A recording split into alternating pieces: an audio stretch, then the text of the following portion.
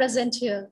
I, Amrita Prakash, Assistant Professor, Department of Computer Science, welcome you all to the technical session of the International Conference on Empowering Smart Future through Scientific Development and Technology, co-sponsored and co-chaired by Moltunet Switzerland, co-hosted and co-sponsored by USDAT USA Europe Data Analysis Congress Series, organized by the Research Committee and Department of Computer Applications, MCA, Patna Women's College. This technical session has two rooms. For first room, the session is chaired by Dr. Sobha Srivastav ma'am, Associate Professor and Head, Department of Zoology, Patna Women's College. Madam is a member secretary of Academic Council of Patna Women's College and also members of several committees of our college. She has done her PhD from Patna University, Patna, and participated in many national and international seminars and webinars. She had published several research papers in reputed national and international journals. Presently, she is supervising four research scholars of the Department of Zoology, Patna University, Patna. I welcome you, ma'am. For the room two, the session is chaired by Dr. Rakesh Kumar Singh, Head, Nanotechnology Center and Registrar of Aryabhat Knowledge University, Patna, Bihar. Sir had started his teaching and research career from 2004 from Patna Women's College itself.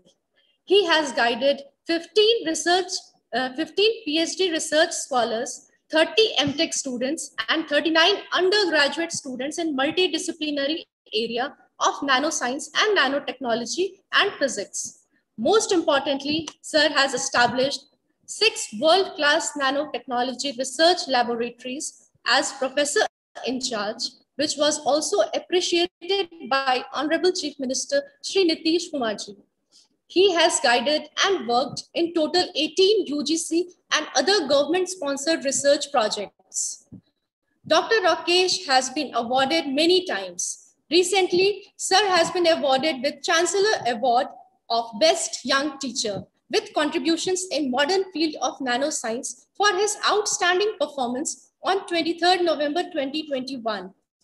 Sir has developed more than 200 low or no cost science experiment under the guidance of eminent academicians Padma Professor H.C. Verma sir.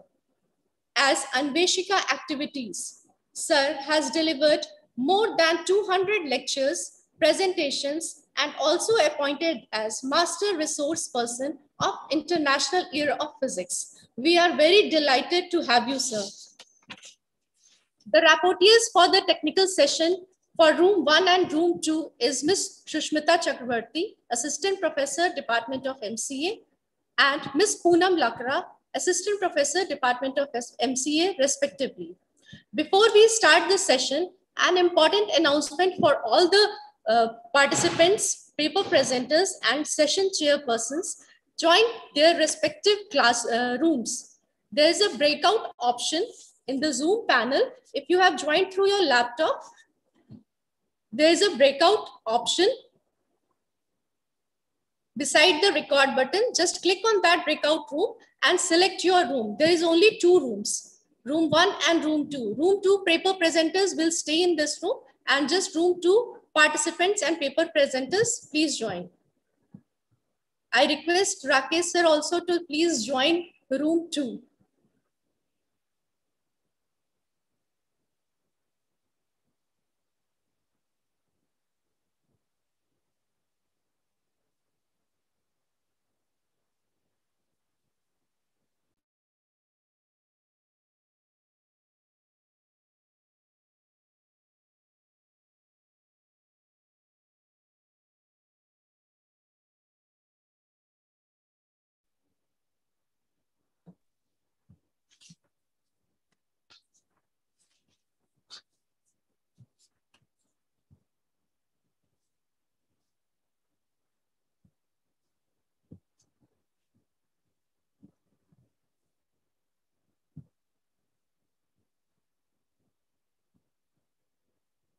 Now I hand over the session to Shobha ma'am.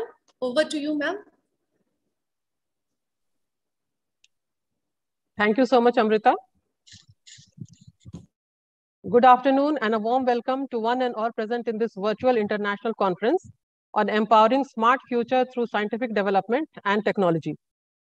There are 11 paper presenters in this session. The timeline has been given to all the participants. Please stick to your time. Eight minutes for the presentation and two minutes for question and answers. The audience may ask the question which are relevant to the topic uh, presented in the chat box. So let's begin the session. All the best to all the presenters. First of all, I request the first presenter, Dr. Manish Kumar, to present his paper. Dr. Manish Kumar. Yes, ma'am. Please share your screen. Okay. Dr. Manish Kumar.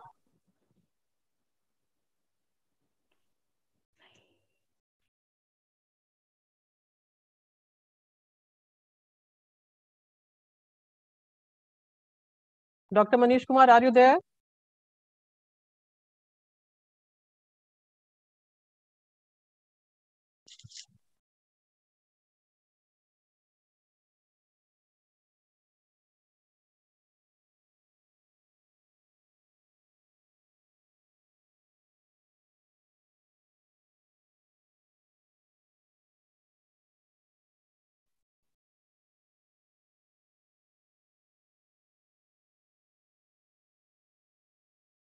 Dr. Manish Kumar is not there. So screen per he is visible, but he is not responding. He has joined uh, the session, lekin, but he is not responding. Hmm. Anyone from that uh, group, because many of them are there. Miss Lovely Kumari. Miss Lovely Kumari. Yes, ma'am. Miss Lovely Uh, Kumari, some if you are time there. wait. Lovely को link दे दीजिए वो lovely कर रही है मेरे तरफ से so Lovely Kumari, please share your screen Okay. Yes, ma'am. and start your presentation.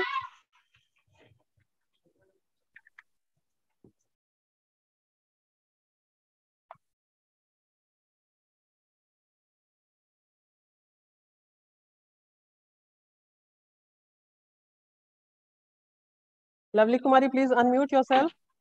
Yes, ma'am. I can't share my screen, actually.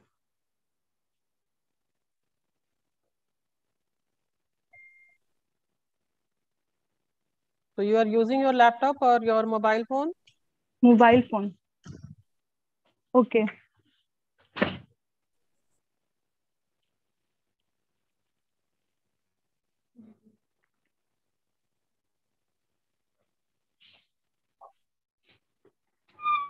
Now your I am screen is visible. visible. Uh, your screen is visible. You are audible. Please begin your presentation. Okay, ma'am.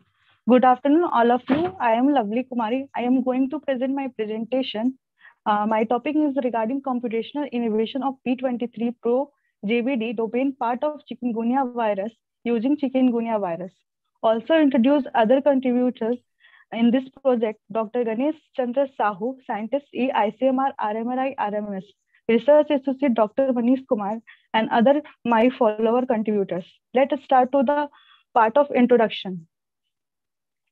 Uh, what is the chikungunya virus? Chikungunya virus uh, is the RNA-based virus with a positive single-stranded. Ge- it's about genome size about 11.6 kb, and it is the member of alpha virus genus and Togaviridae family. And uh, then the uh, this disease was first identified in 1950 in Tanzania. Since 2004, chikungunya has spread rapidly and been identified over the 60 countries throughout the Asia, Africa, Europe, and Americans. Now comes to the part of chikungunya fever. It is the arthriogenic abroviral infection caused by the chikungunya virus, and it is uh, transmitted by the bite of the female Aedes species. And chikungunya virus poses three structure and four non-structure. Like in this, the picture, uh, blue part is the protease domain, and the red part is the zinc binding domain, and yellow part is the macro domain, and the uh, light blue part is the empty light domain. And, but uh, NS2P and NS2P3 participate in the formation of four crucial domains, such as the protease, empty like macro, and JBD. First of what is the domain? Domain are the distinct functional and structural units in a protein, and protein domain is the region of the uh, of the polypeptide chain that is a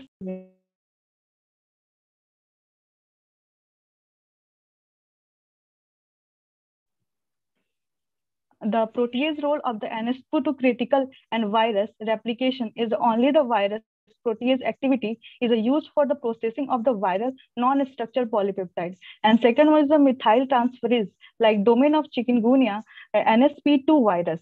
Then comes to the microdomain. Microdomain uh, is the part of NSP3 is the highly conserved among the alpha virus and ADP ribosyl hydro, uh, hydro uh, activity of chikungunya virus, NSP3MD. It is the critical of chikungunya viral replication virulence. No small molecules drug targeting chikungunya SP3 have been identified till the date. Now comes to the aim to identify novel chemotherapeutic agents against the chikungunya infection. And this is my the material and methods 4GUA PDV retrieved from the uh, RCSB data bank. It is the main part of uh, my docking part for GUA, PDV retrieved. And then comes to the baseline and it's derived from the taken from PubChem server and it is the part of flavonoids which uh, secondary metabolites. And I'm using the docking, docking software is the Discovery Studio version 3.5 now comes to the result and conclusion. Structure validation is the IRATE 87 1,480 overall mo model quantity and ProCheck 93.1% residues in the favored regions. And the ProSet Z-score 11.72 reveal the reliability of the proposed model. And then the docking result is a Bracillin 7-O-beta D-gluconide. Uh, one of the derivatives of Bracillin has assured in the highest live dock score with uh, 123.61 and amino acid involved in the poly, uh, protein ligand interaction, valine 13.66, uh, cysteine 1367, aline 1401, glycine 1403, serine 1443, and thionine 1463 residues. And comes to the conclusion, lack of the specific chematography against chikungunya virus infection, bristline and derivatives of bristline 7-O beta D glucuronide might be possible. Nobel Prize targeted antiviral treatment, and it is the need to be validations. Thank you so much.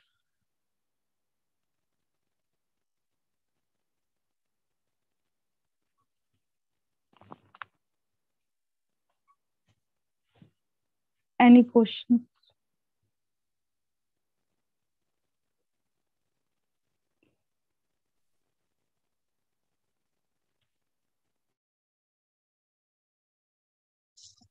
Now, very uh, relevant presentation.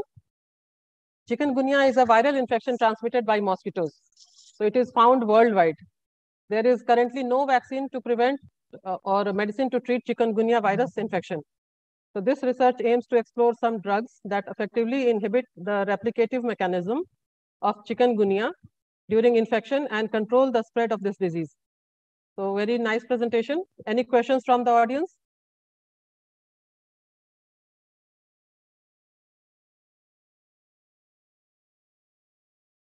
Anyone or the part participants or the audience, you may ask questions.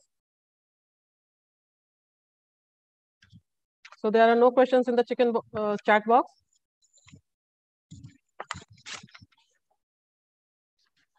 So let's proceed. Now I request the next presenter, Dr. Rashmi Komal, to present her paper. Dr. Rashmi Komal. Thank you, ma'am. Thank you. So you may share your screen.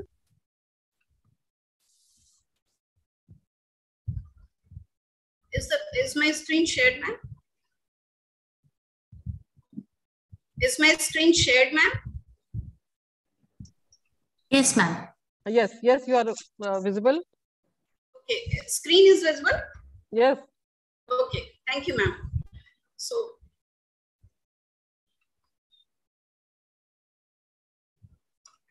so I'm Rashmi Komal. uh, from uh, Patna Science College. And uh, today I shall uh, present my work, my project work, uh, which is in micropropagation of banana cultivar for sustainable agriculture. And uh, this project has been uh, completed for uh, goal nowadays. We know that sustainable development's goal, one of the goal is sustainable agriculture. And in sustainable agriculture, we have to provide ample food for the mankind and ample fiber for the mankind through agricultural developments. And my co-author is uh, Dr. Ranju Kumari, who is assistant professor in plant breeding and genetics from Nalanda College of Horticulture. So, uh, okay. So, um, why banana? Banana Musa paradisiaca is the second premium fruit crops in India after mango, and it is the fourth most important food crops in the world. And uh, it is nutritionally also very important, and uh, it is very good in taste. But uh, why Musa paradisiaca AAB variety? Because Musa paradisiaca AAB variety is the Malbhog banana, which is on the verge of extinction in uh, India and uh, mm, most of the other places also. So some works has been tried and a protocol has been established to develop this uh, Musa paradisiaca Malbhog banana for uh, uh, doing tissue culture and for sustainable agriculture. And uh, why Musa paradisiaca AAB has been selected because India is the leading country in banana production and uh, India cannot export enough bananas due to its short shelf life. This is the main fault. Uh, this is the demerit in uh, banana, Malbhog banana, that it has a very short shelf life and so uh, it cannot be exported. And the only way through which it can be exported is through plant tissue culture. We can uh, prepare ample of tissue culture materials or uh, artificial seeds through plant tissue culture and then we can export it in India and abroad and everywhere. Among different cultivars of banana, Malvo holds a coveted position in the world for its taste, sweetness, aroma, and nutrition. And it has good shelf life also as compared to the other cultivars of banana. Since this crop is of immense economic importance, much work has to be done for its maintenance, conservation, and in vitro propagation. Why micropropagation? Why not uh, general propagation? Because the multiplication technique through plant tissue culture provides disease-free planting materials. Large-scale production or micropropagation of quality propagules is the only way to fulfill the demands of the farmers. That uh, demand and supply ratio, when it goes uneven, then we have to do micropropagation or through plant tissue culture, we can meet the demand and supply ratio or uh, make it even. It also promotes the production of large number of plantlets within a defined time frame. And uh, methodology. What are the methodologies? You can see my tissue culture lab, which has got so many uh, culture vessels, culture tubes. In methodology, in short, we can say as the other, all the types of different tissue culture uh, protocols, uh, sucker is selected as the explant here in different uh, plants, uh, node uh, soup tips has been selected. Here in Malbhog banana, we use suckers and then 2%, 0.2% ascorbic acid, 0.4% citric acid, bavastin, streptomycin sulfate. This has been used for surface sterilization of the explants. There are other things also, जैसे uh, magnesium um, MG, HgCl2 has been also used for surface sterilization. Then uh, the explants has to be ranged and then apical meristems from that selected nodes has been taken after removing two or three leaves, outer leaves of the plant, um, explant, and then it is inoculated in MS uh, media. The best result that we got was in MS uh, Murashige's Fuchs medium which is supplemented with IAA and BAP in different combinations and different concentrations in so many different types of vessels and culture tubes. You can also see some of this.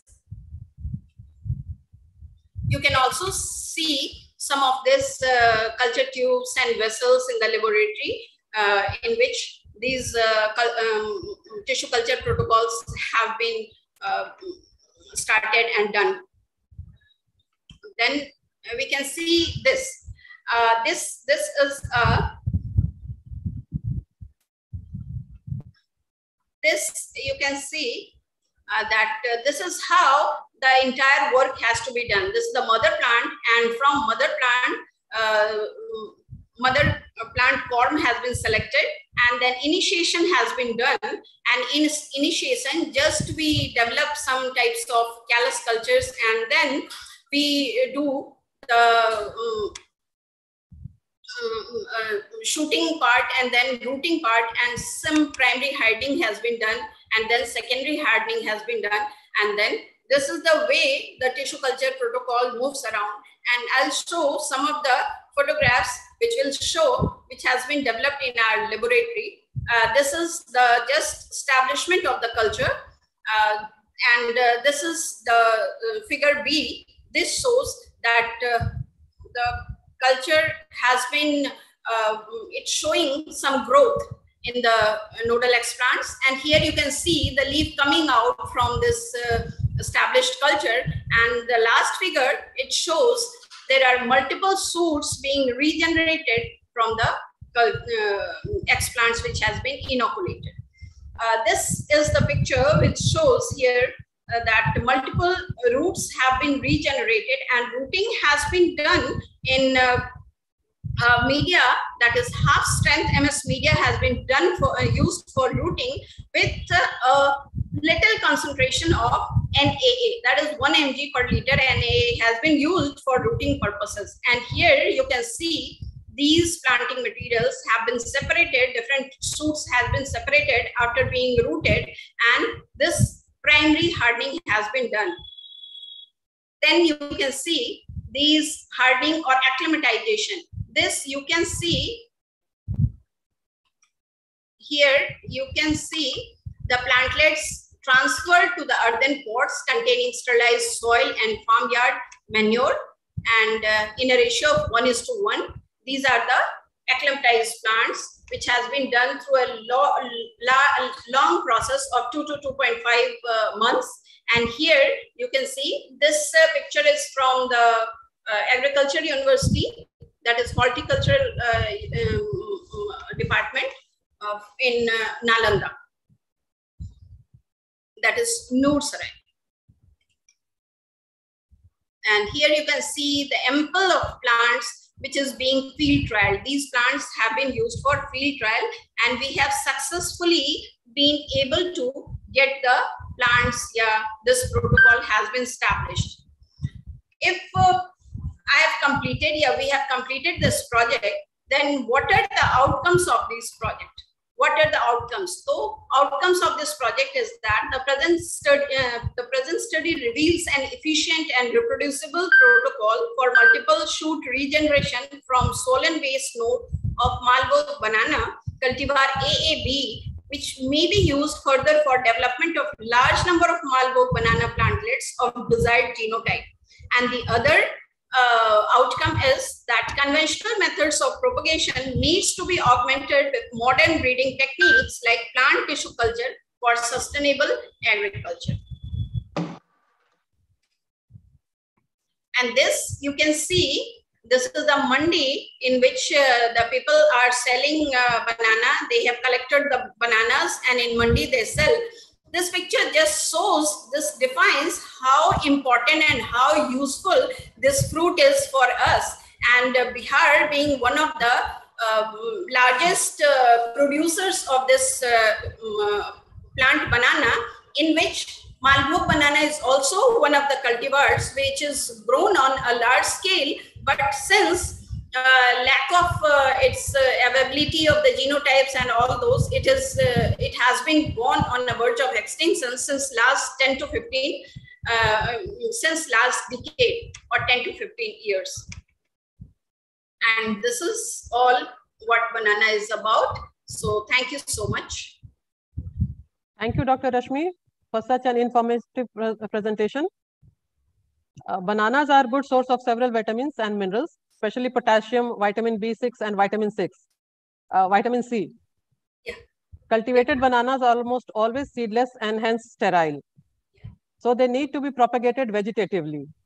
This micropropagation protocol may help the development of large number of Malbhog banana plantlets of desired gen uh, genotype.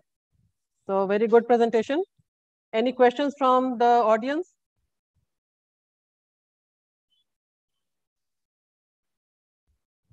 Good afternoon, ma'am. Uh, can you just uh, give a detail uh, in which you did the uh, propagation of the shoot medium, the medium composition of the shoot? Okay, medium, uh, there are so many protocols which has been used uh, during this project, but the pictures that has been shown or displayed over here, the medium which has been used was MS medium was selected uh, which was found to be the best medium for the cultivation uh, micropropagation work. And in medium, the supplementation of different uh, auxins and cytokinins have been done in which IAA was used and a very little amount of, very little concentration of IAA and uh, some concentration of BAP which has been used. The best result was shown in 0.5 mg per liter IAA and 2.5 mg per liter BAP. And we, after 25 days, we uh, uh, saw about 12, 11 to 12 on an average of shoot tips, which was developed. And for rooting, uh, NAA was used. Any more questions from anyone?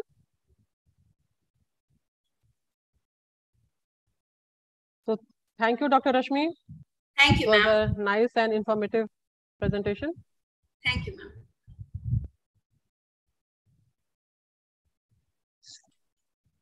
Now I request the next presenter.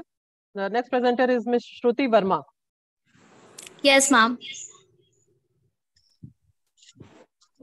Shruti, you can, uh, your screen is visible. Good afternoon, everyone. The topic of our presentation is ameliorative effect of cumin and soya extract against arsenic toxicity in Drosophila melanogaster. Introduction. Arsenic is a metalloid naturally occurring in soil, air, and water. It exists in both organic and inorganic forms.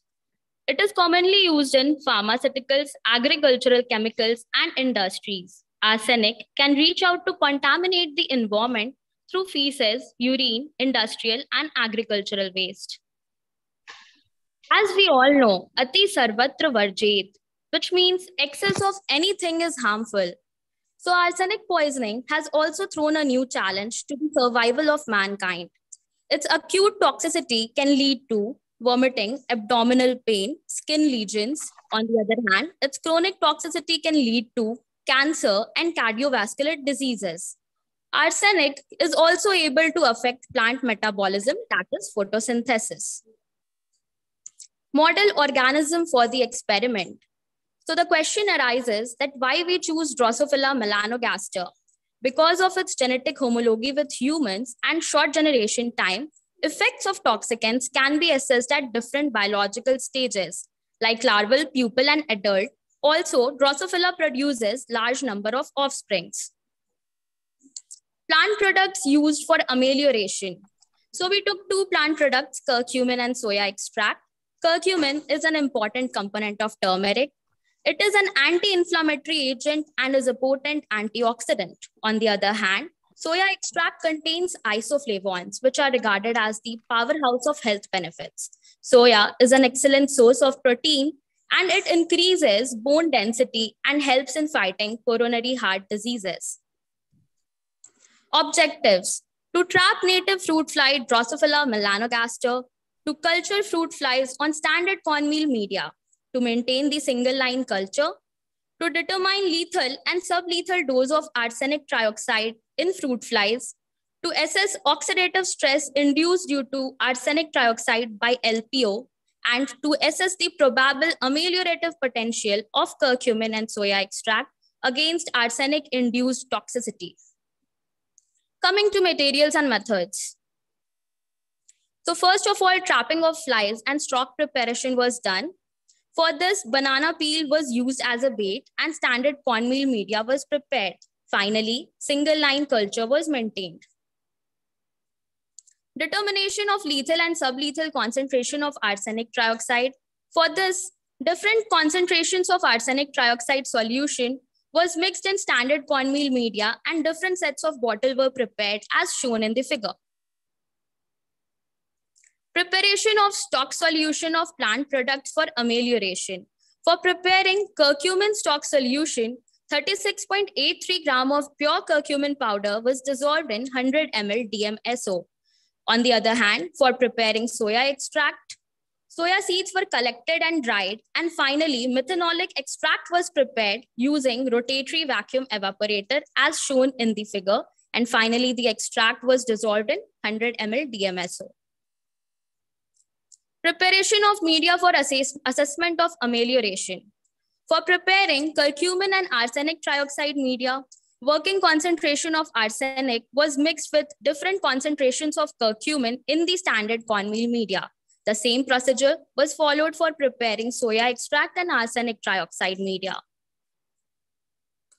Lipid peroxidation assay. For this, the flies were first weighed, then homogenized and centrifuged. In the supernatant, mixtures were of TCA and TBA were mixed and it was finally incubated in the water bath and the observance was taken at 532 nanometer and 600 nanometer. Finally, the MDA level was calculated by using the given formula and statistical analysis was performed using one-way ANOVA, two-way ANOVA, and t-test for verifying the significant differences between the various sets of data. Now I would ask my partner to continue results and discussion. Anjali Ranjan, please. Thank you, Shruti. So coming to results and discussion. Lethal and sublethal concentration of arsenic trioxide. The present study revealed that survival of flies in arsenic-treated media was less as compared to control, and significant reduction in the lifespan was observed with increase in concentration of arsenic in the media, which can be seen by the graph given here. Now, acute toxicity was observed in four days, whereas chronic in seven days. And 100% mortality was seen at 0.75 millimolar arsenic trioxide, whereas 50% at 0.5 millimolar arsenic trioxide concentration. And thus, on the basis of results observed, 0.55 millimolar was taken as the working concentration for the flies. Survival of flies cultured in curcumin containing medium and soya extract containing medium was comparable to control medium. No significant difference was found in the three replicate bottles of all three experimental setups. Assessment of amelioration. The problem caused by arsenic can be addressed through Ayurveda. Environment factors such as diet has huge impact on lifespan of the melanogaster. Best survival rate was found in 0.55 millimolar arsenic containing media with 1 millimolar curcumin and 1.5 millimolar soya extract respectively. Now, this figure is about the comparison of lifespan of D-melanogaster in different media, namely control, arsenic, curcumin, arsenic plus curcumin, soya extract, arsenic plus soya extract. Lipid peroxidation assay. It is a marker of oxidative stress. Now, LPO assay revealed change in the level of MDA produced in the tissues of flies exposed to different media, where it was highest in arsenic-treated flies. Flies treated with curcumin and soya extract showed reduction in the level of MDA thereby making them as a good antioxidant. Conclusion. There was a substantial decrease in survival of flies observed in the flies exposed to arsenic trioxide, where 100% mortality was observed at 0.75 millimolar and 50% at 0.5 millimolar concentration of arsenic trioxide, making them as lethal and sublethal dose respectively. Curcumin and soya extract were found to reduce the toxic effect of arsenic in fruit flies, where best ameliorative potential was found at 1 millimolar for curcumin and 1.5 millimolar for soya extract. Significant reduction in the level of MDA was marked in flies exposed to arsenic trioxide when treated with curcumin and soya extract respectively. This suggests that curcumin and soya extract can be useful as a dietary supplement as they have promising antioxidant potential to combat arsenic-induced toxicity. Thank you. Thank you, everyone.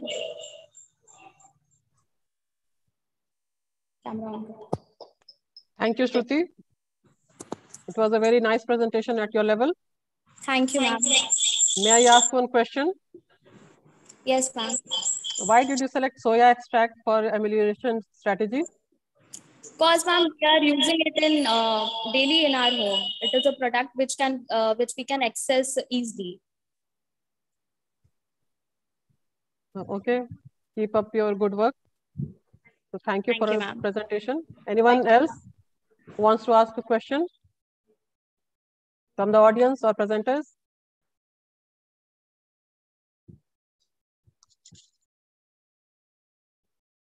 No questions? Then thank you, Shruti. We'll Thank proceed you. to the next presentation.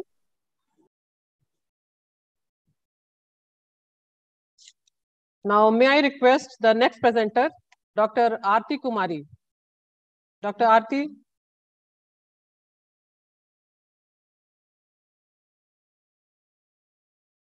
your screen is visible. Good afternoon, everyone.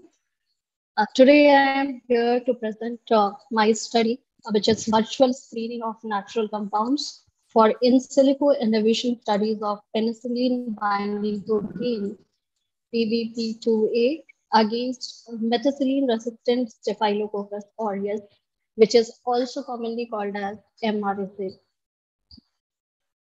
What the question arises what and why is antibiotic resistant? Many of you must be aware of the term antibiotic resistant.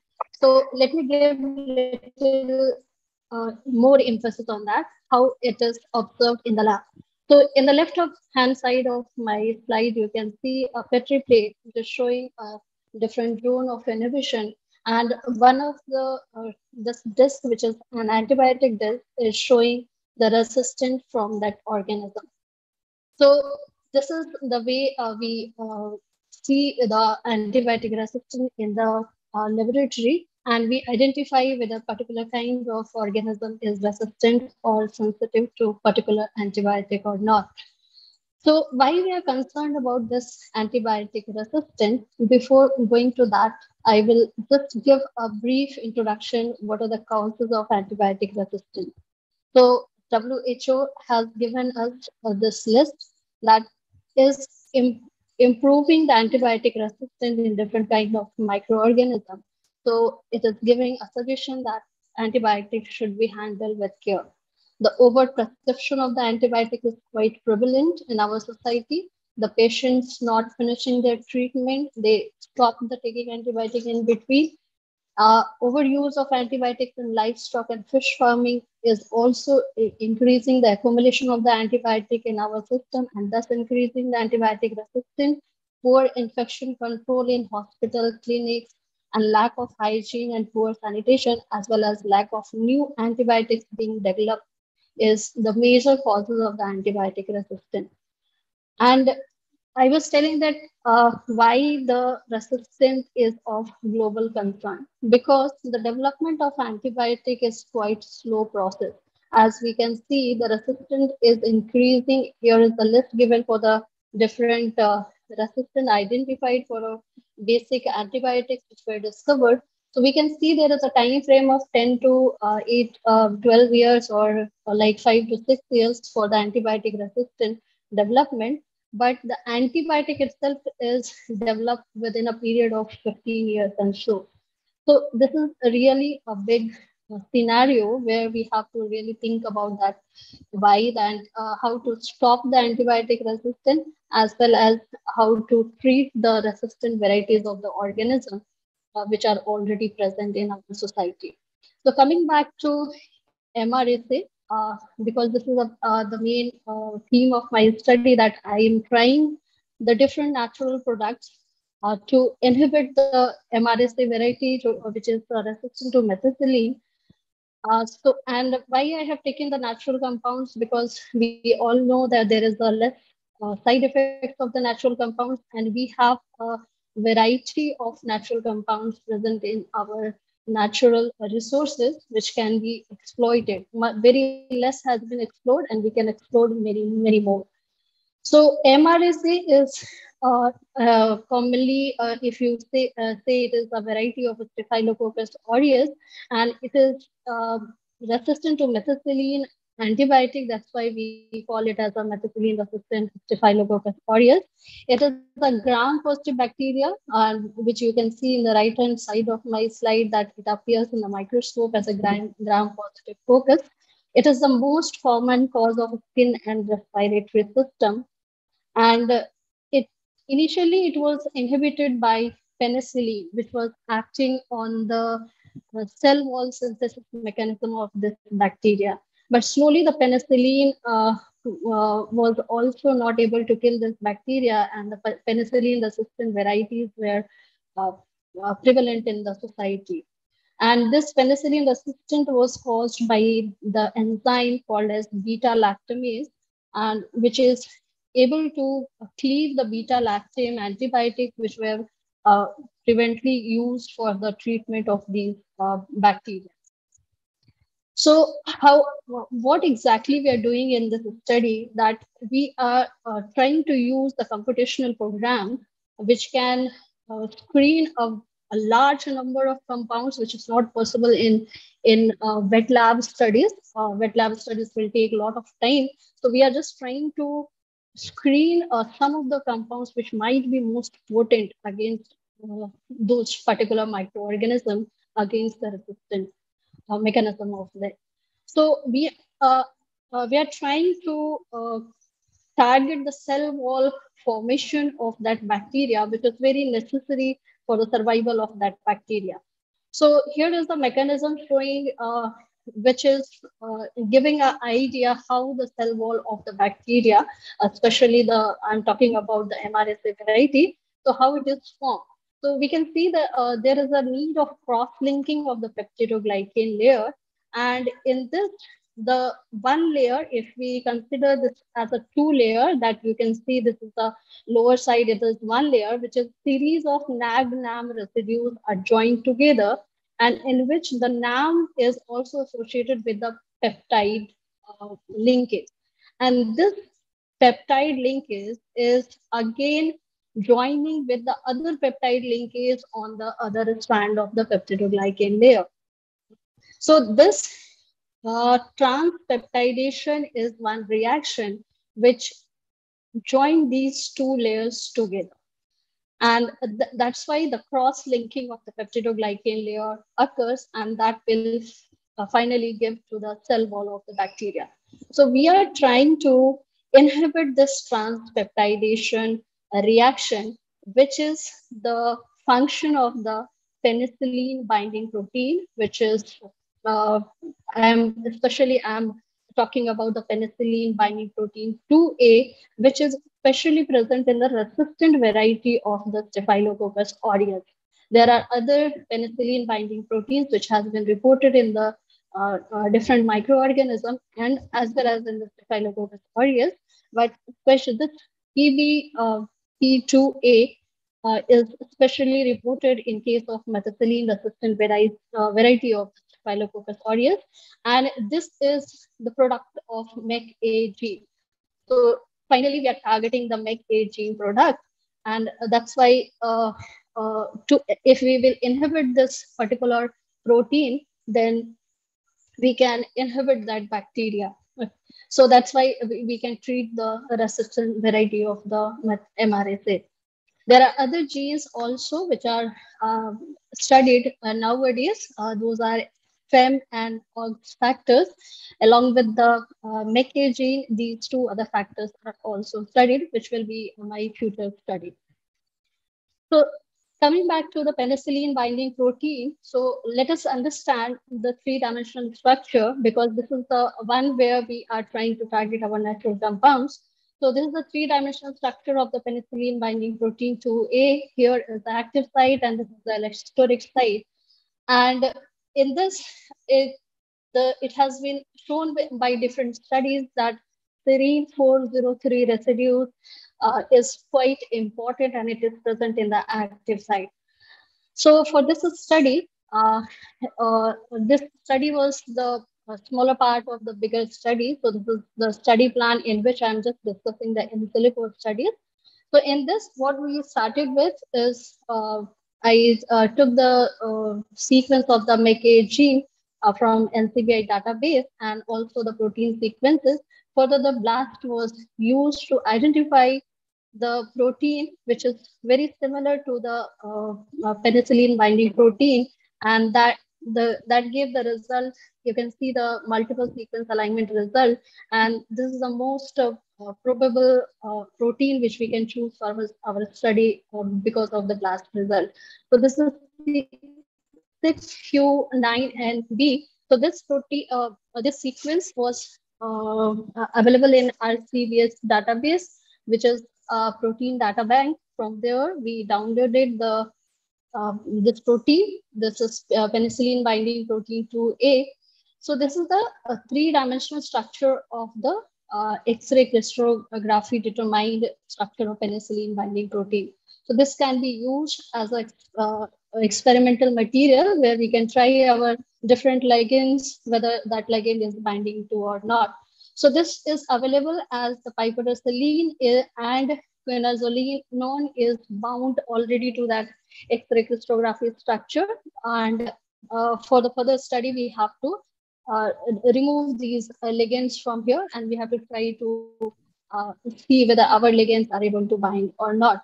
So I choose this particular site because it is already seen that piperacillin is able excuse me, to inhibit that. Excuse me, Dr. Arti. Please stick yes, to your time. You have already crossed the time limit of 10 minutes.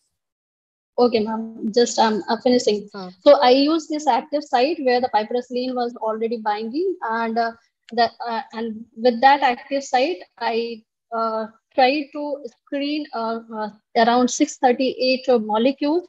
And these are the, some of the molecules which has already bound to that. And especially we found uh, that the, uh, the these 10 compounds were most probable compounds which can inhibit to this particular protein. And especially the C FMAU and this Xanthone B is able to inhibit most probably. So the further in vivo studies can be uh, done to understand the exact mechanism of that. And uh, in this, we reported that uh, there are important residues which are uh, important for this inhibition is serine 403, threonine 444, threonine 600, and so on. So, and, uh, and this was exactly the same residues which was also found in the piperacillin. So this study was uh, uh, relevant to the uh, study, uh, previous studies, and also the giving the emphasis that as the piperacillin can inhibit, it can also inhibit the uh, this particular penicillin binding protein, and so that we can uh, inhibit the antibiotic resistance. Thank you.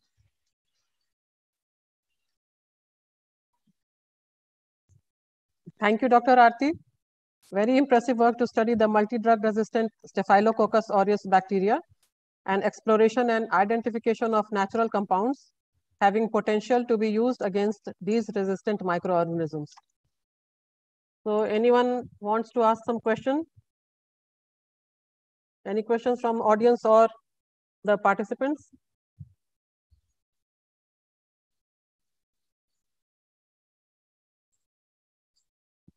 So there are no questions. So we'll move to the next presenter. So moving further, I request Ms. Shivani Jaiswal. Yes, ma'am. Ms. Shivani Jaiswal, you may present yes, your paper. Yes, ma'am.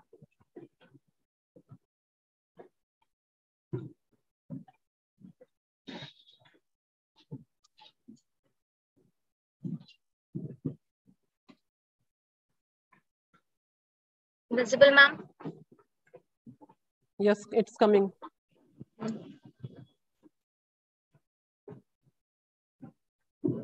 Now your screen is visible. You may proceed.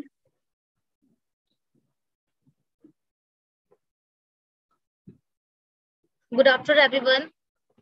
A very warm welcome and thanks the Research Committee Department of Computer Application, Patna Women's College, Patna.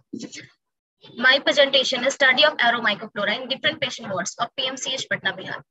My guide, Dr. Surendra Kumar Prasad, Head of Department, Botany, Magad Mahila College.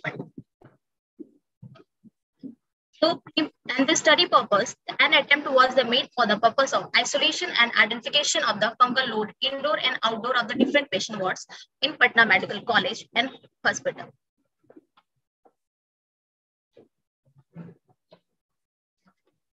Aromycoflora simply refers to the airborne fungal contribution of the environment. Simply refers the term aerobiology was coined by the American plant pathologist Fred Campbell, where to denote the airborne fungal spores pollen grains and the other airborne microbes. Rhizopus causes the disease the known as the mucormycosis, characterized by the growing hyphae and the uh, surrounding blood vessels. Different studies indicated that fungal extract can cause allergic retinitis and the bronchial asthma. Indoor dwellings. Air almost always contain exposure, but the number and the type of the exposure depends on the time, day, weather, season, and geographical locality.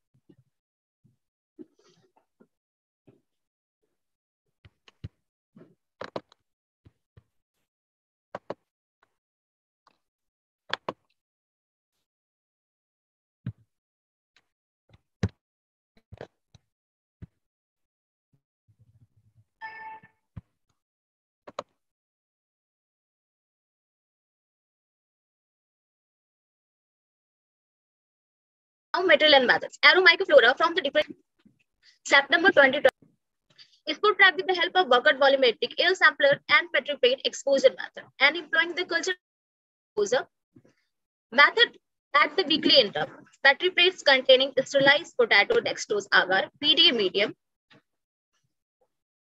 were exposed for the 10 to 20 minutes inside the different corners of patient beds in the indoor patient wards and also placed outdoor areas. Ma'am, I'm visible or audible?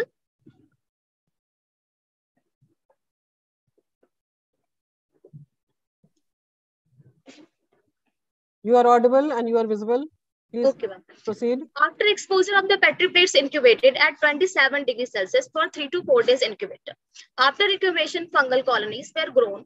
The colonies were counted with the help of the colony forming unit. Total number of colonies of the colonies of one species of the total number of polyspecies. Identification of these species were made on the basis of the micro and the macro uh, micro and macro morphological reverse and the surface colony coloration and the grown on the medium. And the further the morphological characters with the help of literature. Type sampling was done as a result total 11 genera were observed. Out of total observed genera, mucormycosis, known as black fungus, Rhizopus mucor, dermaphytic fungus, Curvularia lunata, Cladosporium herbaceum, Microsporium canis, and Histoplasma capsulatum showed there the maximum dominancy, which was the given below at the tabular form. So let's take a look. So these are the type sampler given from the 21-9-2020 to 9-3-2021. Day 1, the rhizopus presents the September month, September, October, and the November month, and the penicillium found the both three months and the aspergillus. So most dominant is the mucor, all presents in all uh, seasons. And these are the number of colonies. The total number of 319 colonies were found, and 36 colonies of mucor, and the least number of colonies Fusarium alternaria. So there we have the isolated fungus, these are the observed, observed under the microscopic view of the some uh, fungal growth. These are the graphical representation, the mucor highest growth and the least dominant, uh, dominant and the least dominant are the fusarium alternaria. Now result analysis.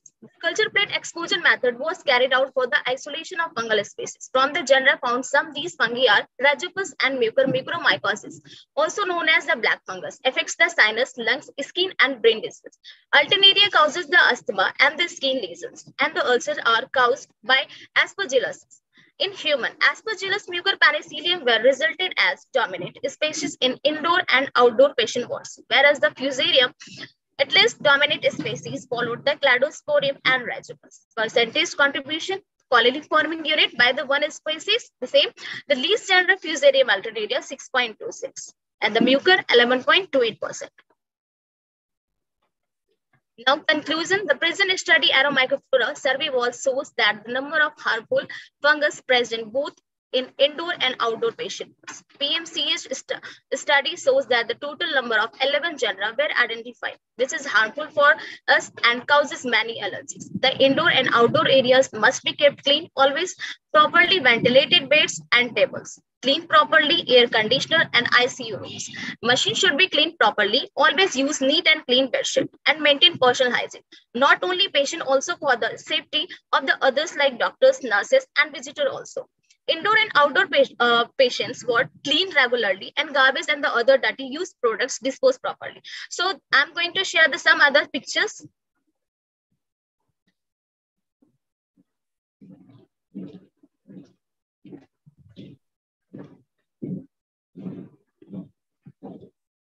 So there we have the sub indoor and outdoor areas of the uh, air samples where we kept in OPD rooms also. There we have some slides prepared for preparation slides. Burkhardt air sampler that we know as rehab plastic surgery outdoor wards, rehab OPD wards.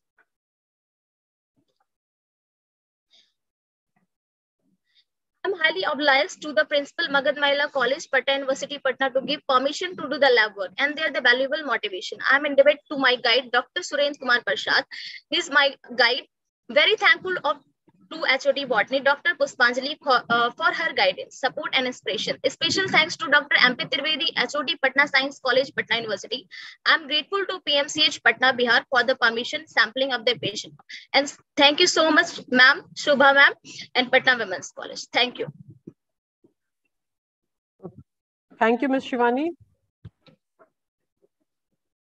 Thank you, Ms. Shivani, for Thank your you, such informative and scary presentation. The presence of airborne fungal spores in the atmosphere of PMCH is very alarming situation. Yes, ma'am. It will cause several hospital-caused infection. Yes, ma'am. And So sample were uh, sample were done by after COVID, ma'am. Sept, uh, September 2022, March 2021. So the authorities of PMCH must be informed about the findings of your research work. Yes, ma'am. Sure, ma'am. So thank you for this informative. Thank you so work. much, ma'am. Thank you so much, ma'am. Any questions from the audience or participants?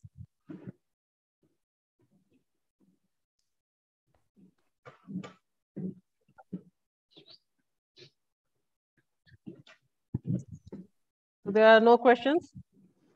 Ma'am, I'm your student or 2014 botany from botany 2014 batch. Nice, Nice to to see you, you. ma'am. Thank you. Thank Thank you, you so much. It was a very informative presentation Yes, ma'am. and it should be informed to the authorities there in the PMC. Yes, ma'am. Sure, ma'am. Okay, thank you so Also, much. also I'm studying for allergens, allergens purpose, Okay, further studies. Yes, ma'am. so keep up your good work. Thank you Thank so you, much. ma'am. Thank you, ma'am. So let's move to the next presenter. So the next presentation uh, presentation is by Mr. Praveen uh, Praveen Deepak. Yes, ma'am. Mr. Praveen Deepak, Yes, please present your paper.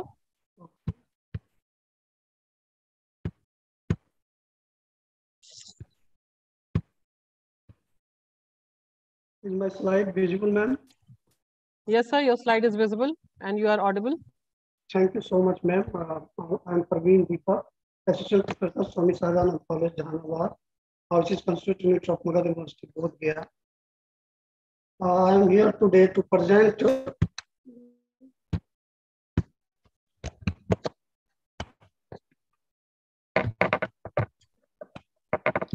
I'm uh, here to present uh, my study on drug discovery in rheumatoid arthritis uh, with chronic inflammation in- involving signal transducer, uh, and uh, activator of uh, transcription factor 3 biomedical biomedical databases. First of all, I need to understand what is rheumatoid arthritis as the slide indicates. Rheumatoid arthritis is a type of chronic systematic inflammatory disease predominantly affecting diarthrodial joints. Uh, uh, uh, in addition to uh, joints, in addition to joints, it frequently affects a variety of other organs too, Inflamed joints are characterized by inflamed lining of joints, causing damage to joint tissue such as synovial membrane, cartilage, and articular bones. A resulting damage of tissue causes chronic pain, unsteadiness, and deformities. In uh, near uh, uh, below uh, cartoon, we can uh, we can see here the all type of uh, deformities are there. That is a boutonniere deformity, which leads to inability to extend the finger. Ulnar deviation of metacarpo of phalangeal joints, which is resulting for, from abridgment of joints and swan neck deformities.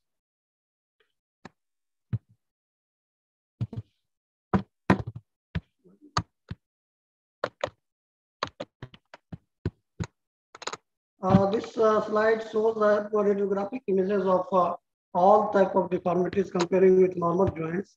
Uh, these slides are taken from or adapted from Brosos et al. Uh, Rheumatology, International published in 2009. It is since it is a progressive disease, progressive disease, since it is progressive disease, just start with the inflammation, deformities in fingers starts appearing. these deformities uh, may be of two kinds. Uh, type 1 deformities or conservative type, having uh, type 1 thumb uh, deformities and uh, including uh, boutonniere deformities. And second is multiple finger deformities, including swan neck deformities in the fingers.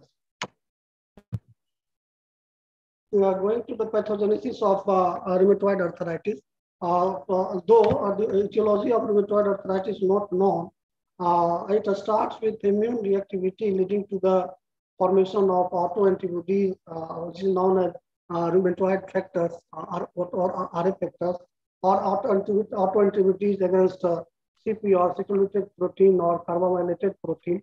These autoantibodies leads to the inflammation, which in turn results in the activation of multiple uh, uh, uh, biological processes involving several pathways leading to the uh, further inflammation and oxidative stress. These oxidative stress and interconnected inflammatory pathways activation worsens, the symptoms. Since uh, I have confined my work on uh, my study on uh, involvement of STAT3 uh, for the drug in uh, synovial inflammation for the drug discovery purposes, uh, extracting through the biomedical databases. we and so we, I, I have uh, tried to understand what the role of or involvement of STAT3 in the uh, signaling cascade. Here we, here we see uh, uh, uh STAT3 is activated by activated the kinase 2, uh, which in turn STAT3 diamylinase and uh, migrated to the uh, nucleus to bind uh, STAT3 responsive gene element to uh, uh, for a transcription of related genes. That contributing that contributes further inflammation and, uh, and pathogenesis of arthritic joint inflammation. Coming to the uh, statistics of uh, rheumatoid arthritis in global or Indian scenario, uh, because uh, it also tells about why such study is important in this current perspective. Uh, in global scenario, three cases per one lakh population uh, uh, in the form of incidence I found, which increases with the age, that is, uh, that, that can be found at peak, peak at 35 to 50, 50 years of age. Uh, having a prevalence uh, prevalence rate of 0.5 to 1 1 percent. Uh, while in India, uh, incidence rate is uh, 20 to 40 cases per uh, 1 lakh population with a prevalence rate of 0.28 0.28 uh, to 0.77. Today, there are about 10 lakh people suffering from rheumatoid arthritis.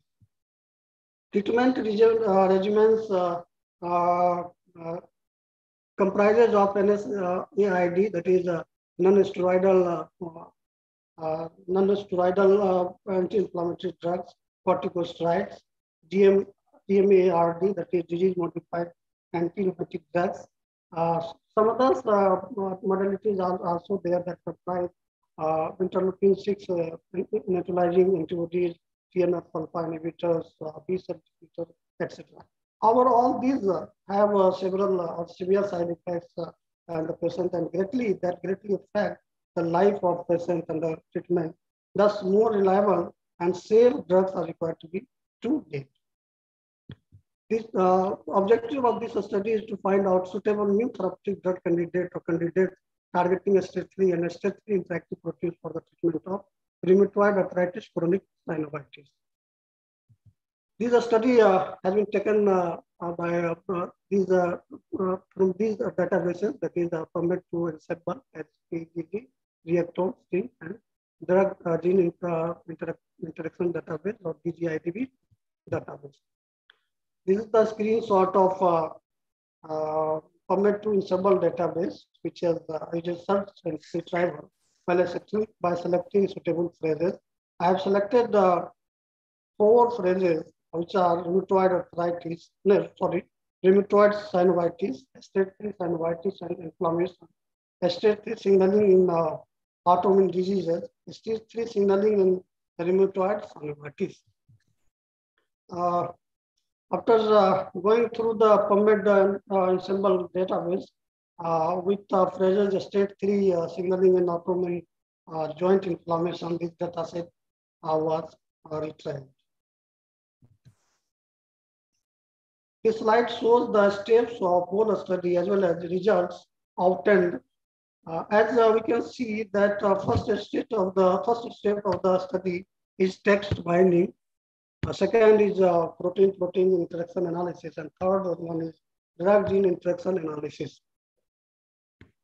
In parenthesis, uh, uh, in text mining in parenthesis, uh, we, uh, we can see the number of genes, associated genes, associated genes, which has been derived in text mining to different search phrases, such as the text one, the rheumatoid arthritis, 69 uh, associated gene. Text 2, state 3 signaling and, and inflammation have uh, 108 uh, uh, genes, associated genes. Text 3, text 3 STAT3 signaling and autoimmune joint inflammation have 16 uh, uh, associated genes.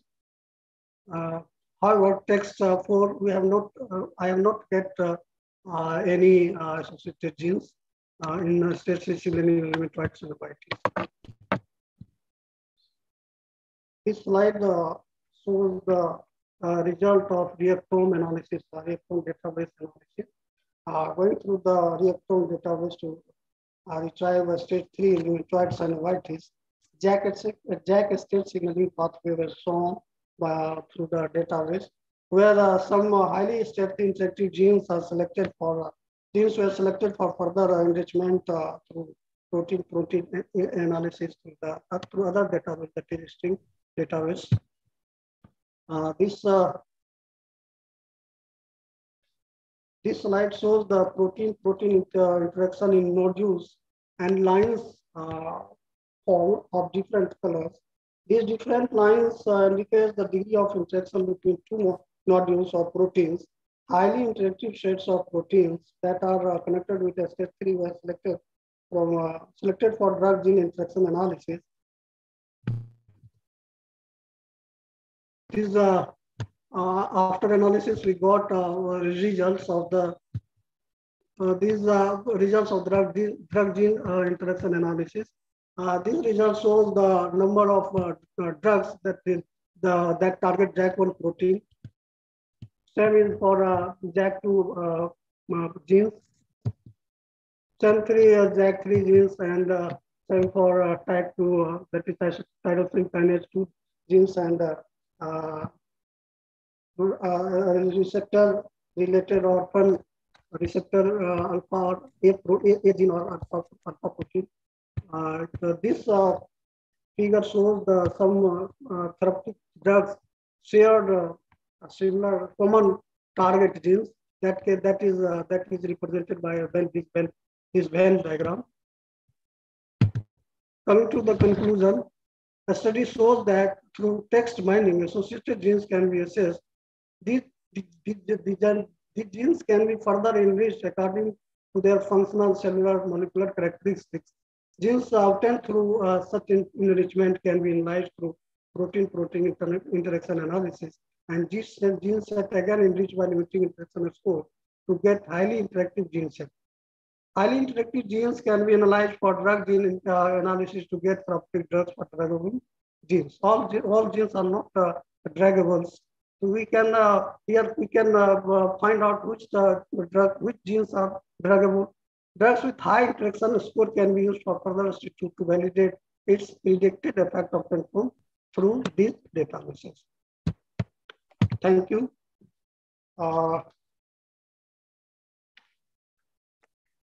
Thank you, Mr. Praveen. Deepak? This is all about my study, ma'am. Uh, thank you so much. Uh, you have given a very detailed description of rheumatoid arthritis. It is a very good initiative towards cure of rheumatoid arthritis. So any questions from the audience? Or the participants?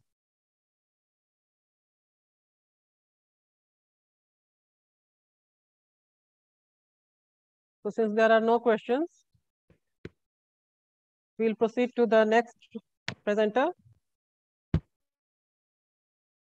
So now may I request Ms. Uh, Ms. Srishti Sonam to present her paper. Ms. Srishti Sonam.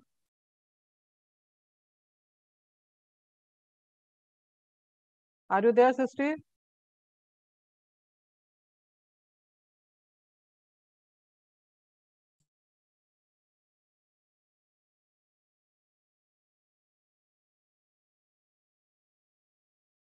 Srishti, Hasina Praveen, Ms. Shruti.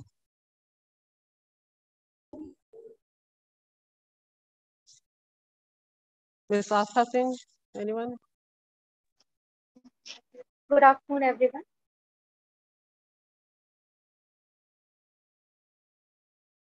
Good afternoon. Your screen, uh, your screen is visible.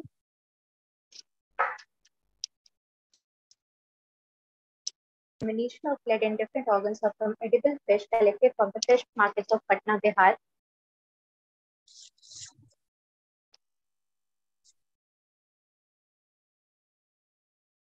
Fishes comprise a major part of the human diet due to high protein content, low saturated fat, and sufficient omega-3 fatty acids, which are known to support good health. In 2017, fish accounted for about 17% of total animal protein and 7% of all proteins consumed globally. उसका नहीं है Heavy metals are among the most serious environmental pollutants due to their high toxicity, ease of accumulation due to non-biodegradable nature, and are extremely persistent in the environment. Contamination and pollution of aquatic environment, uh, environments with heavy metals from natural and anthropogenic sources. Fishes have the ability to accumulate heavy metals in their tissues by absorption along the gill surface and kidney, liver, and tract wall, Lead is naturally occurring toxic metal found in Earth's crust. Due to its non-biodegradable nature and continuous use, its concentration accumulates in the environment with increasing hazards. Its concentration in water significantly increased by anthropogenic sources.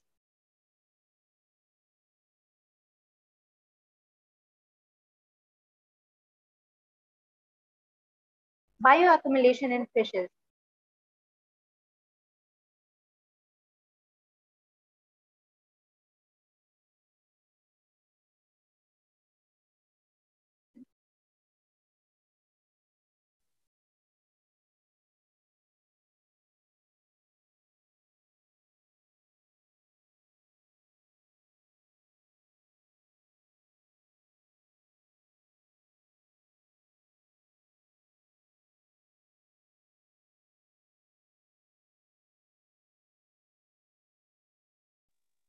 Bioaccumulation in fishes.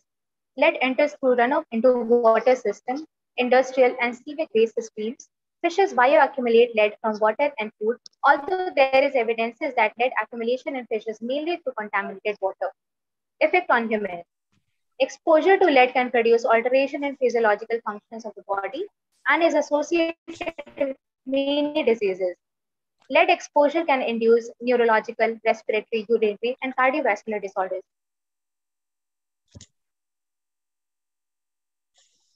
Importance of this study. People feeding on fish contaminated with lead can directly get some concentrations of it.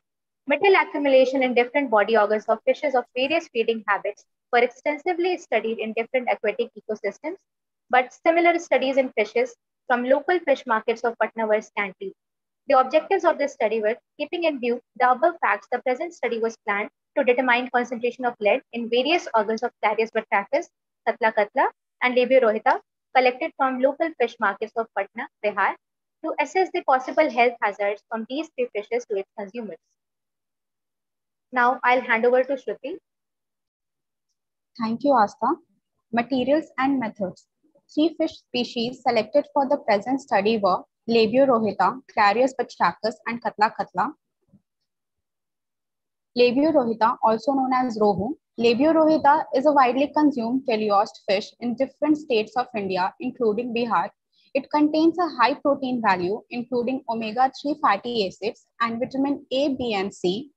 Clarias batrachus, known as mangur in Bengali and walking catfish in English, it is an air-breathing fish it consumes a wide variety of prey. Its fat content is also very low and is therefore easily digestible.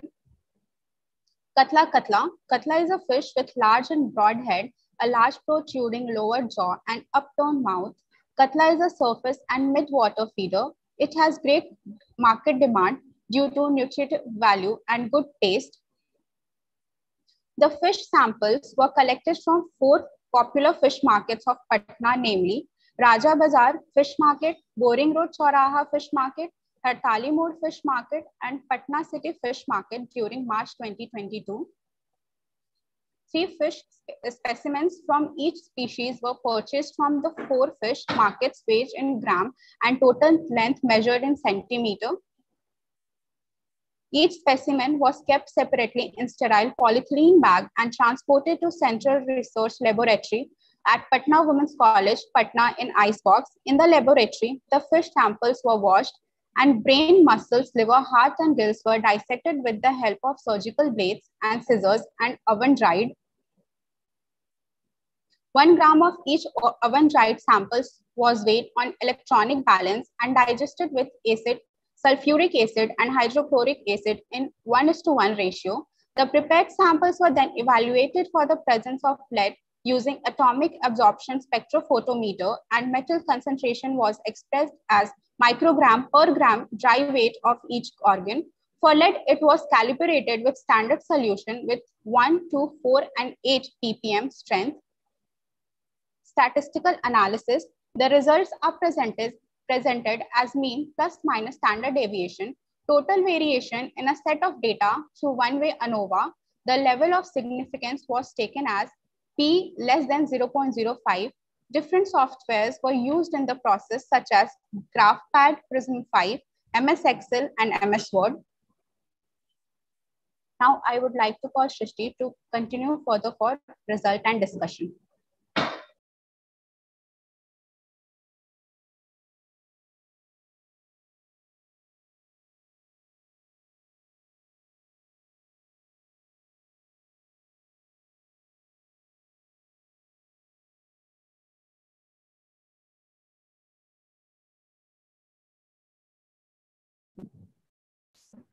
Thank you, Shruti. Results and discussion.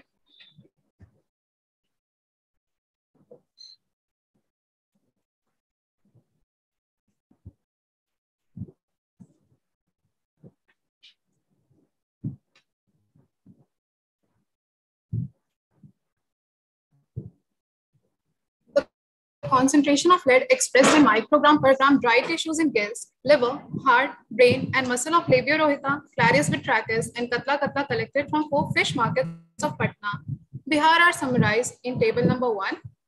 So here we can see that in Labeo rohita, highest concentration of lead is found in liver, while it is scanned, it is not detectable in liver, heart, and muscles. In case of Clarias batrachus, highest concentration is also seen in liver, while it is not detectable in gills in some area, in uh, heart and in muscle as well.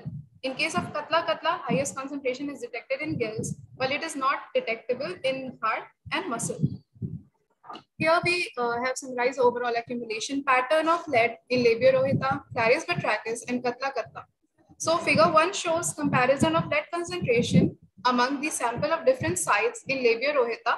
As we can see here that the Raja Bazar uh, uh, fish sample contains highest concentration of lead, while Patna city shows lowest concentration.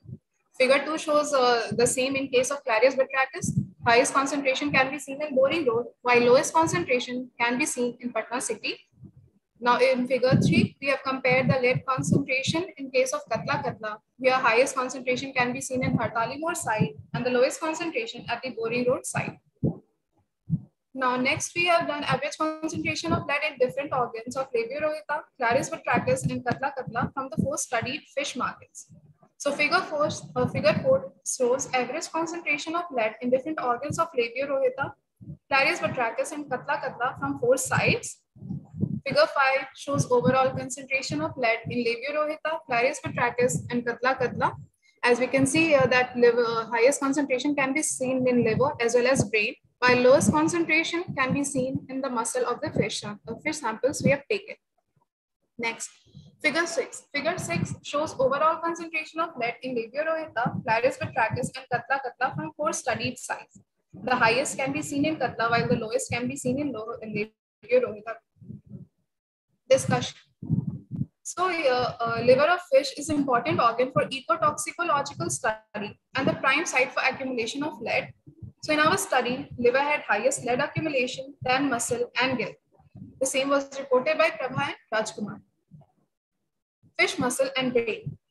Muscle and brain lead content of all the three fish species in the present study was detected below the permissible limit, which is given by the WHO. Highest lead content was detected in Catla catla. Overall highest concentration of lead was detected in Catla catla at the Hartali Moor fish market as we have concluded that from figure 3 and figure 6. On analyzing organ-wise accumulation of lead showed most of the accumulation was in gills, liver, and brains, which could be discarded. Next, conclusion. So the study of lead concentration in Labiorhoeta, Clarias batrachus, and Catla catla collected from four fish markets of Patna, Bihar showed that lead concentration in these fishes was under the permissible limit but people should be aware of the possible threats in the near future as more accumulation of lead causes serious health issues. The maximum accumulation was found in liver and brain, Clarias batrachus, which could be avoided for consumption. Dates. So these are the pictures of the fish markets and the protocol and the uh, atomic absorptive spectrophotometer references. Thank you.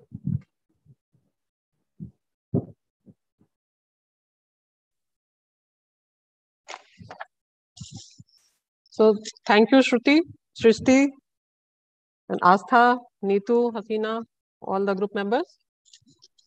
Now, you, may I know, have you tried to find out the source of fishes in the fish market of Patna? Um, Hajipur. From Hajipur. So these Yes, are the fishes from the river Gandak or Ganges. Um, we asked them for the site, but they were not really, uh, they were not answering much. But they were like, uh, we have taken it from Hajipur, but they were not mentioning the uh, source. But near Patna City Fish Market, there was a lake uh, near the fish market. Okay.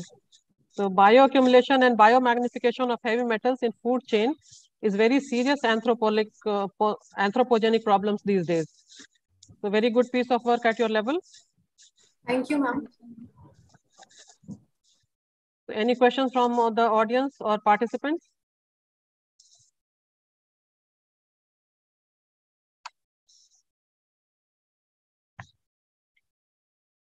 So since there are no questions, anyone wants to ask anything?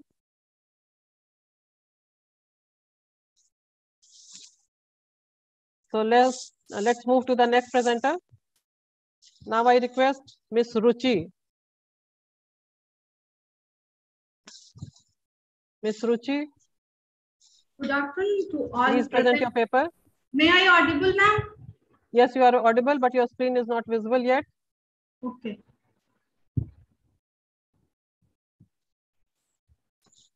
Now your screen is visible. Okay. Good afternoon to all present here.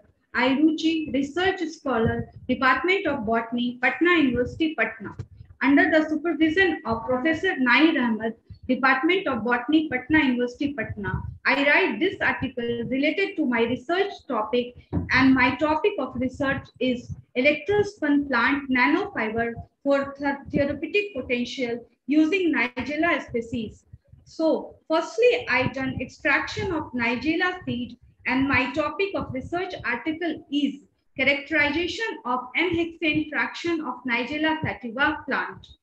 Nigella sativa is an annual herbaceous flowering plant commonly known as black caraway, black cumin, Nigella, or kalonji. In our local language, it is also known as mangrela.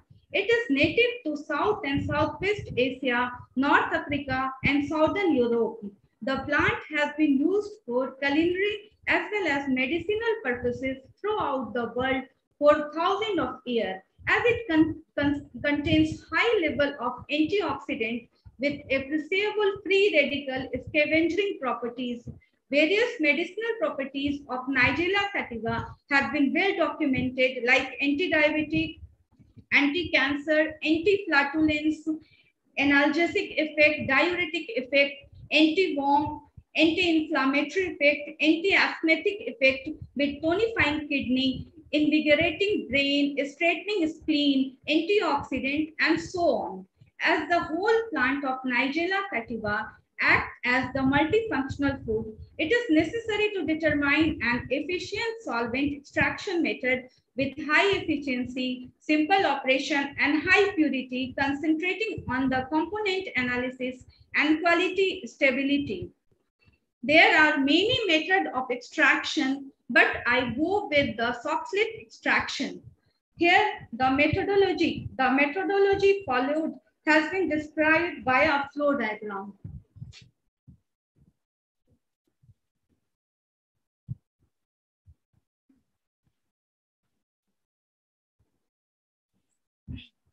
The plant seed of Nigella sativa collected from the local Patel Nagar market, Patna, Bihar, India, identified according to the relevant monograph of Indian Pharmacopoeia, the plant material was botanically authenticated at Botany Department of Patna University, Patna. Voucher specimen of plant extract have been deposited in the department.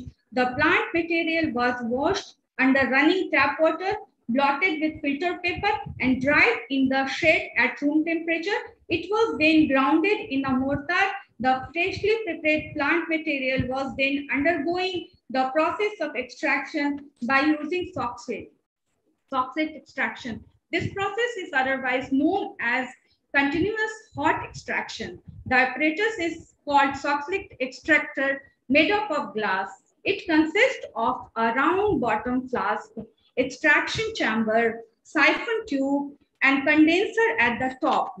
A dried, grinded, and finely powdered plant material is placed inside the porous bag called thimble, made up of clean clothes or a strong filter paper and tightly closed. The extraction solvent is poured into the bottom flask, followed by thimble into the extraction chamber. The solvent is then heated from the bottom flask, evaporates and passes through the condenser where it condenses and flow down to the extraction chamber and extracts the drug by coming in contact constituently. When the level of solvent in the um, extraction chamber reach the top of the siphon, the solvent and extracted plant material flow back to the flask. The entire process continues repeatedly until the drug is completely extracted, a point where a solvent flowing from the extraction chamber does not leave any residue behind. This method is suitable for the plant material that is partially soluble in chosen solvent and for plant material with insoluble impurities. It is not suitable method for thermolabile plant material. Advantage of Soxhlet method. Large amount of drug can be extracted from the small amount of solvent. It is not applicable to plant material that are heat stable. No filtration is required and high amount of heat could be applied. This advantage, uh, regular shaking is not possible and the method is not suitable for thermolabile materials. Phytochemical screening of plant extract. The screening of chemical constraints was carried out qualitatively with N-hexane extract by using various chemical methods for qualitative test. Different solvent extract of plant were analyzed for the presence of alkaloid, saponin, flavonoid, fixed oil, and fats, uh, tannins, and phenolic compounds according to standard method. Nowadays, awareness of people is increasing with regard to natural products as medicine. The World Health Organization describes a medicinal plant as any plant in which one or more of its organ contains substance that can be used for healing purpose or which are precursor for the synthesis of valuable drugs. With this knowledge in background, the present study was designed with the aim of phytochemical screening of Nigella sativa plant extract. The results showed the presence of various active phytochemicals such as alkaloids, saponin, flavonoids, anthocyanin, steroid, as well as tannin and phenolic compound with high antioxidant properties. Conclusion.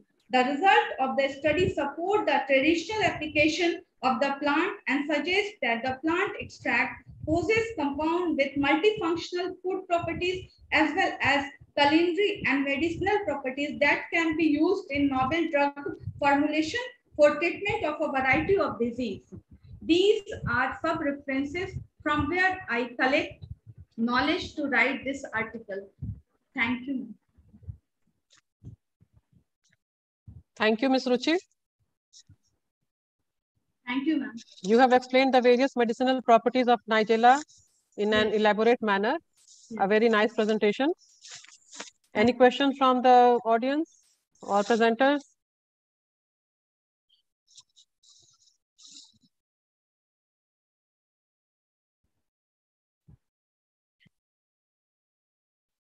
No questions?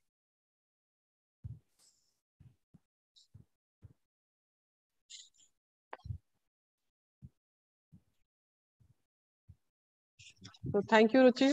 Thank. Now I request Dr. Niti Yashwardhini to present her paper. Yes, ma'am, I'm here.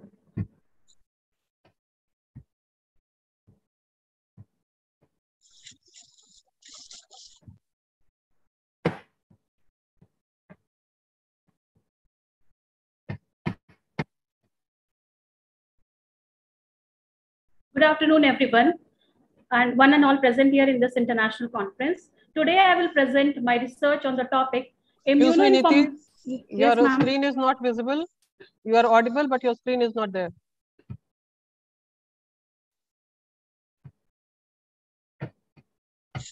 Now it is visible.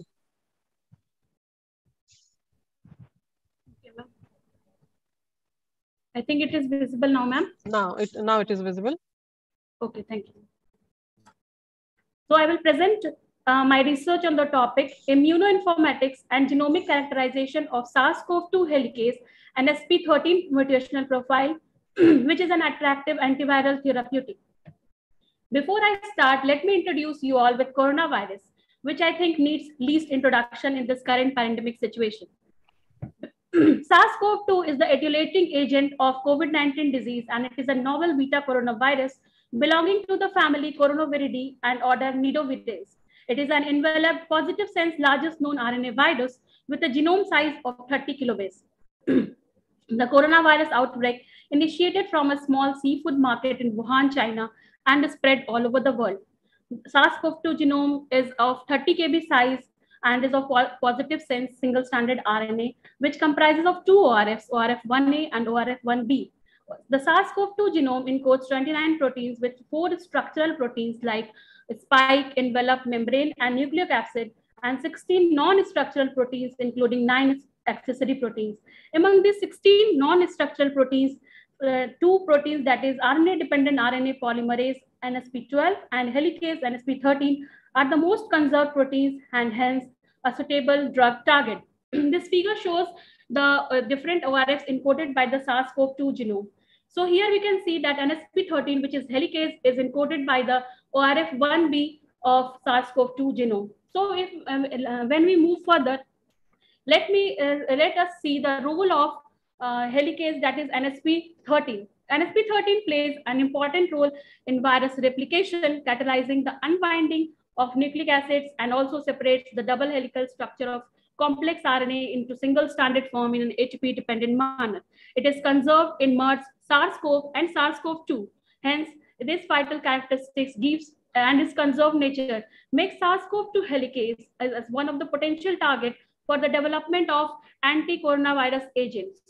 NSP, NSP13 protein is comprises of five domains, as we can see in the figure, that is N-terminal zinc binding domain, then uh, S stop domain 1A, 1B, and 2A. Then uh, zinc binding do, uh, zinc binding domain and 1A domain are very very important as they are the one with which the NSP13 interacts with the NSP12, which is the main RNA polymerizing enzyme.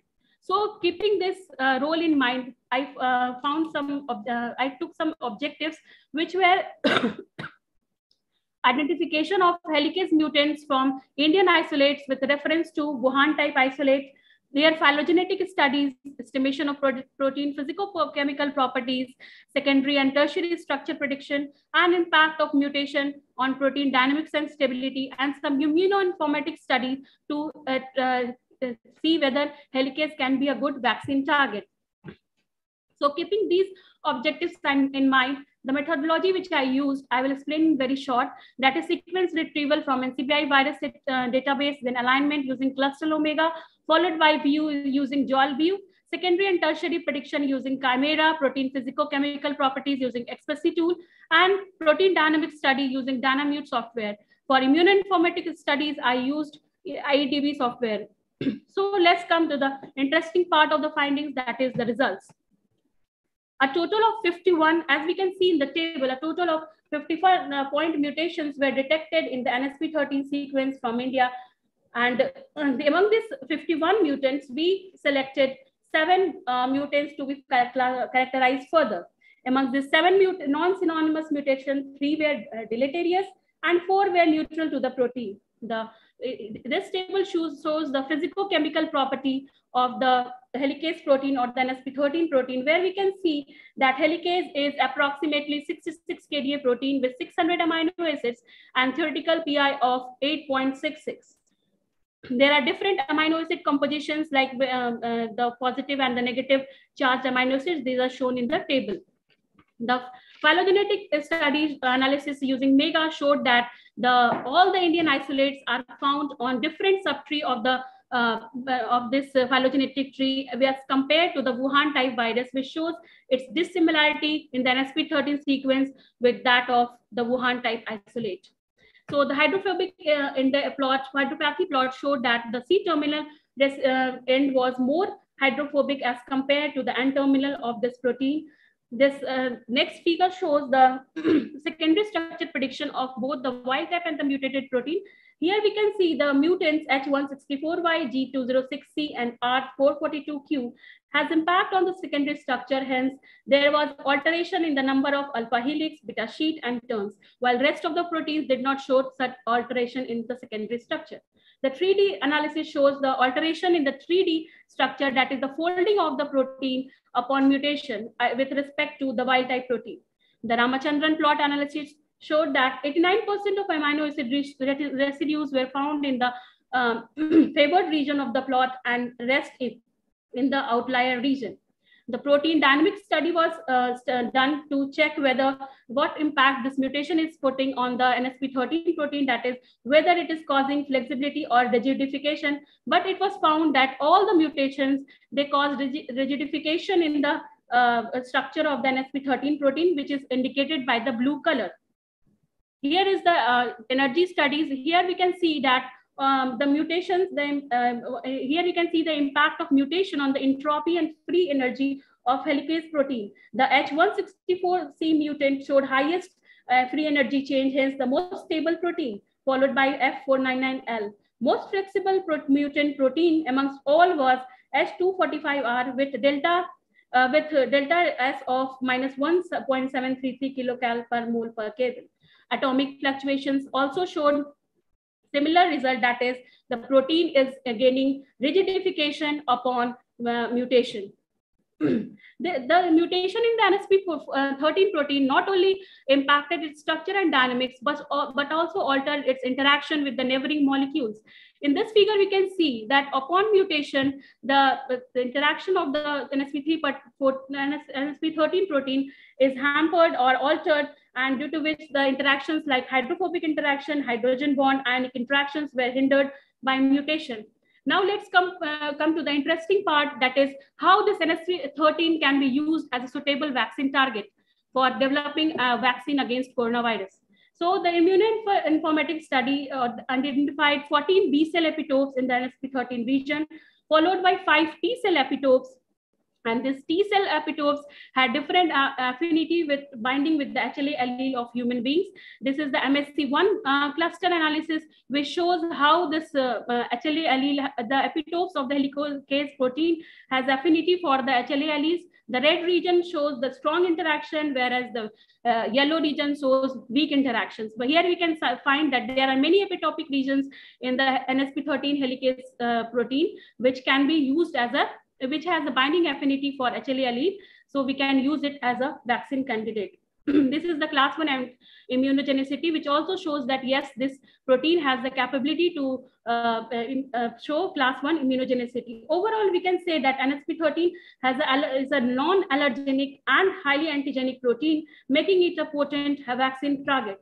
So the following conclusions were made from this study, that is 51 point mutations were detected in the NSP13 region of Indian SARS-CoV-2 isolates. I mean, these seven showed structural, functional, uh, and stability uh, impact on the dynamics of the NSP13 protein and also impacted its interaction. 14 B cell and 5 T cell epitopes were predicted, which showed the uh, which showed that it is highly antigenic and also it is non-allergenic to human beings.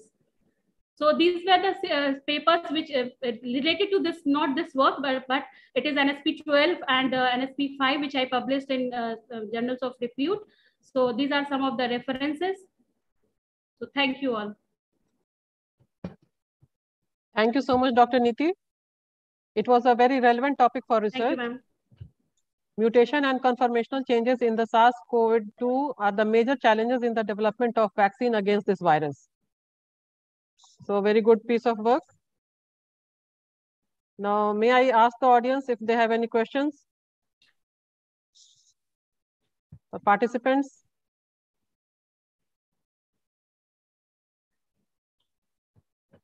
Anyone wants to ask something? So since there are no questions, we'll proceed. Okay, thank you, ma'am. So, thank you, Niti. Now I request Dr. Ashish Kumar to present his paper. Dr. Ashish Kumar. Yes, ma'am. Is, is my voice is audible? Uh, you are audible, but your screen is not visible. Just now,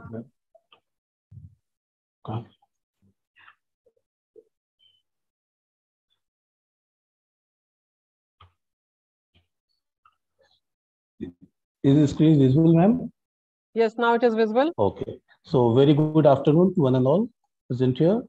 The topic of my presentation is in vitro dissolution of urinary stone with hydroxy acid, amino acid, and natural plant, plant extract. We know that urolithiasis is a medical term used to describe the stone occurring in the urinary tracts. The urinary tracts consist of the kidney, ureter, bladder, and urethra, as shown in the slide the kidney stone is formed within the within this part, as, so, as in the second slide shows the kidney stone. Now, all human urinary tracts consist of various uh, uh, various uh, organic uh, organic substances, which is called the matrix. Now, these will combine with the calcium ion and forms the stone. So there are different kinds of kidney stones which are of different size and chemical compositions. Some of them are calcium oxalate stone, phosphate stones, uric acid stone, stearate stone, staghorn stone, cystine stone. The next slide will show the different types of the stones which is formed in our body. Some are the acidic stone and some are the basic stones. The acidic stone like the uric acid, basic stone like uh, sodium, uh, magnesium, ammonium phosphate can be formed within the body. Now, normally, why this stone? The question is why this stone form? And why every person is not suffering from this stone, urolithiasis. Normally, our urine contains the chemicals that, that prevents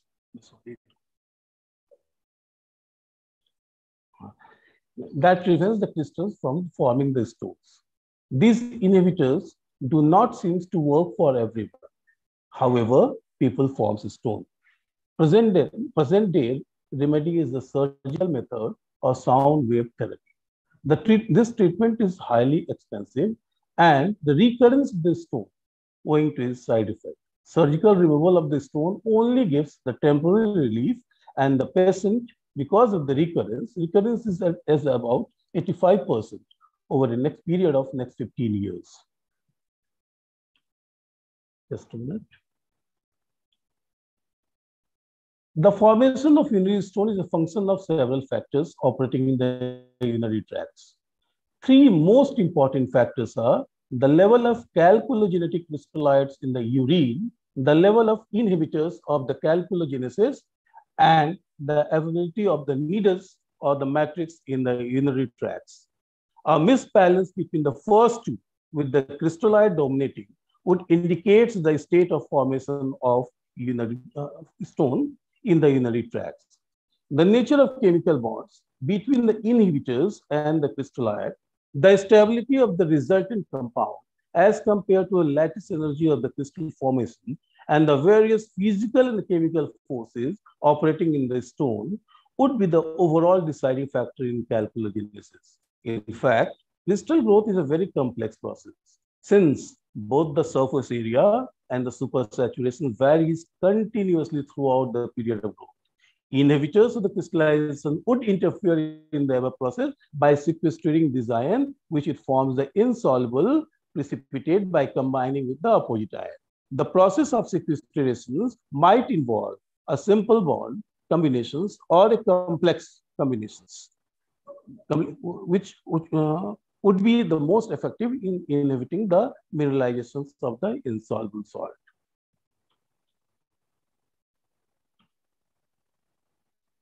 An ideal inhibitor must be an ideal sequestering agent under a given environment. A sequestering agent, as I say, is a, is a substance exhibiting a complexing ions which is sufficiently strong to dissolve a common precipitate of the metal being complexed. It means the complexing ability of the sequestering agent must be compared with the insolubility of the precipitate being sequestered. If the value of the free metal ion is lower for the complex than for the precipitate, the precipitate will, of course, dissolve so that the complexing agent is then a sequestrant under, a, under the given experimental conditions. In urolithiasis, it is the calcium ion that forms stubborn, insoluble minerals and an effective inhibitors must be a good complexing or sequestering agent. Keeping all these factors in our mind, I have endeavored the possibilities applications of hydroxy and amino acid. Now, what the question is why I selected the hydroxy and amino acid? Because it is inexpensive, easily available, and does not report any side effect.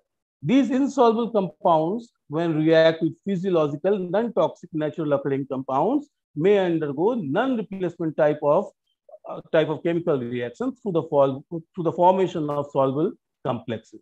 Such studies will be helpful in drug designing for partial dissolutions of urinary stones. So my objective is to first find the inhibitor efficiency of hydroxy and amino acids, and then find with the dissolution of renal stone, renal stone by the Kurti dal. Now, for that, I have prepared the two models one is called the SDM, that is simul simultaneous dynamic model, and second is RDM, reservoir dynamic model. In SDM, three burets of 50 ml was put up. Two burette comprises crystallite forming salt solutions, and the third one consisting of the inhibitors. The, the above experiment is, is conducted on a magnetic stirrer the three burettes are allowed to fall in a beaker on a magnetic stirrer simultaneously until the whole 50 ml tumbles. The above the above precipitate is is um, is the in the beaker was heated on the water bath for about 10 minutes and then filtered and then the weight of the precipitate was determined. Similar method done with the RDM, RDM method, but in this case, that 50 ml of the inhibitors was initially taken over the magnetic strip. The same experiment was done with the blank set of experiment. Instead of inhibitors, we take the distilled water in the both the cases, and then after calculating the experimental data and the blank set, we by using the formula percentage efficiency, that is weight of blank set minus experimental set upon the weight of blank set into 100, we can determine the percentage efficiency. So this is this slide shows the experimental work done in the lab. Now, second, the natural extract for the horse gray gram extract was prepared. For that, about a known amount of 250 gram of the horse gram was taken in a 500 ml water and left for overnight. Its extract was prepared with the help of SCL and then it was again heated and cooled and then the, it is it is put in a known amount of calcium carbonate and calcium oxalate of definite of known strength 0.1 and 0.01 strength I have taken. Then it is again left for some durations, 48 hours, and then it was again filtered and of the precipitate was determined. This is the observations table. First table shows the blank with the water, second with the amino acid, glycine, and third is the hydrox, second, hydroxy acid of different strength. First table, one is 0.1 m strength, whereas the second table is 0.01 m strength of calcium carbonate. We just see the RDA model is more effective than the SDA model. The efficiency of RDA model is higher as compared to, to SDA model. Similar experiment with the other salt, calcium oxalate was done with the water, glycine, and tartaric acids. Horsegram, horsegram, horsegram extract is also done with the different strength of calcium carbonate and calcium oxalate, and the percentage dissolutions was calculated. The graph shows the similar the the data of the which you obtain in the, uh, the the glycine and tartaric acids then is the different 0.01 strength of calcium carbonate. Again, with the SDA model of calcium oxalate, then calcium 0.01 strength, different strength in both the models were plotted. Similarly, with the Horsegram extract graph of the calcium carbonate and oxalate of different strength was plotted. Now, come to the conclusion part. It is clear from the experiment that these hydroxy acid and amino acid or the osgram has a power to dissolve, to, to dissolve the, the, the kidney stone. That is oxalate and carbonate. I work with the oxalate and carbonate. Second, the RDA model is more effective than the SDA model. And on increasing the strength of the inhibitor solution, its inhibitor efficiency increases. Horsegram is a good inhibitor for dissolution of mineral stone glycine is more effective than the tartaric acids. So that is, the comparative study of table suggests that these acids are moderate to good inhibitors of the calcium carbonate and oxalate mineralization. Sequestrations of these insoluble calcium salt by, by these acids might be due to complexation, which is effective because due to the, just a minute, complexation coupled with the effective hydrogen bonding through the OH bonding. A comparative study of different models shows that RDA model is most effective in the, in, in the inhibitions of the mineralization. This is because the continuous studying might be effective, might be effective chelating the calcium ion and screening from the precipitating ions like oxalate or carbon. My work is over, but there's a question that can we recognize, know that we are we have a chance of forming a stone or a person feeling person have a stone on. There are some symptoms through which we can easily identify that you may have a chance of stone either in the kidney or in the gallbladder.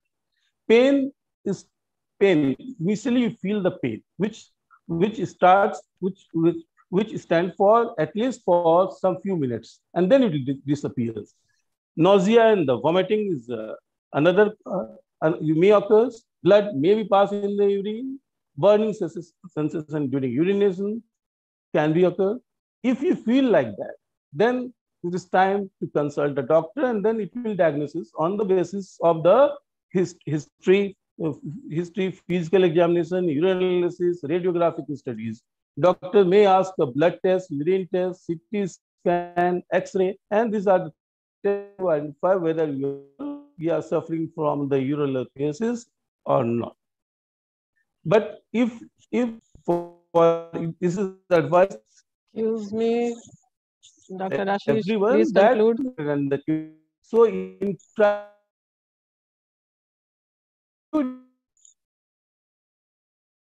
meters, this is way to prevent most use, avoid using the salt or sodium intake. We try to avoid intake of animal proteins, meat, fish, etc. Try to avoid the veget the vegetables which contains the oxalates. We have tried to avoid the chocolates, soya products, etc. Water, always, I just told you that we have to take at least eight, eight, eight glass of water a day. Dates, okra, these are the, because it contains some magnesium, its antioxidant property, and prevents the crystallization chemicals in the kidney. Pomegranate juice is also helpful because it is rich in rich in fiber, vitamin B, vitamin, vitamin C, potassium, potassium present in it. It prevents the formation of stone in the kidney. Lemon juice is also helpful because it is an antioxidant rich in citrate, citrate, and it helps in the uh, in the formation of it, it, it. reduces the formation of the stone. Apple cider Uh, vinegar. excuse me, Dr. Ashish, please conclude. Yes, yes, yes, yes, yes. I'm just I'm concluding. So this is my last slide. So it is data that up to 15% of men and 6% of the women will develop a stone. Maybe chance. So women have less chance of formation of the stone as compared to them. So thank you. Lifestyle. So we have to change the lifestyle by using. Thank you. Thank you. Thank you. Thank you, Thank Dr. you. Ashish, for this informative piece of work. Thank you. So may I know why did you choose hydroxy acid, that is tartaric acid, for your experiment? Uh, To dissolve the kidney reason stones? is that uh, this is because, ma'am, we select the hydroxy acid, tartaric acid is a hydroxy acid, because it is easily available and it is non-toxic and does not have any re- reported side effects. So that's according to you, I we should use more of the tartaric acid containing food substances to Yes, prevent yes, the yes. You have formation to of. use, but you can't use the more of, but you try to use the more foods in our day-to-day life. That will Thank you help so you much. in the Thank you. It's a prevention measure. So Thank you. ma'am. any questions from the audience or participants?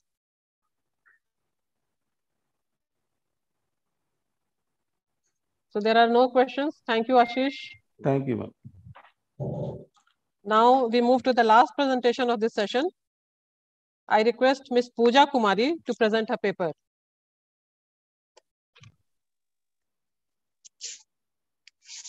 Yes, ma'am. Ms. Pooja Kumari. Yes, namaste, ma'am. Good afternoon, ma'am. Good afternoon. Good afternoon. Yes, ma'am.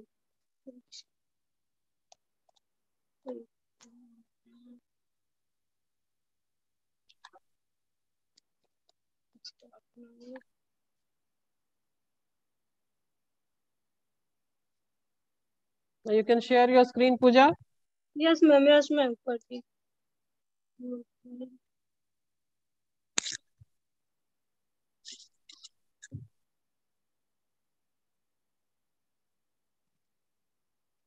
Sorry, ma'am.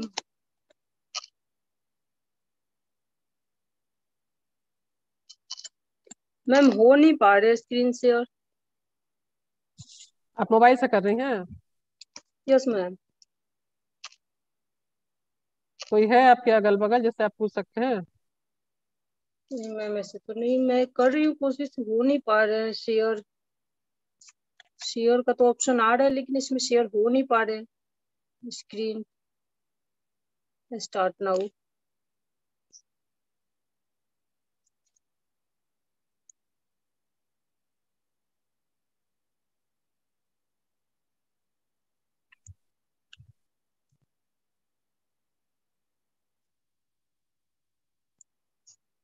Ma'am ऐसा कोई number हो तो बोलिए मैं send कर देती हूँ PPT मुझसे तो नहीं हो पा रहे शेयर मैम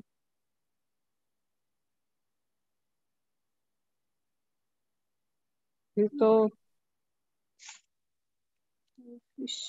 आप अपना बोल के प्रेजेंटेशन दे लीजिए।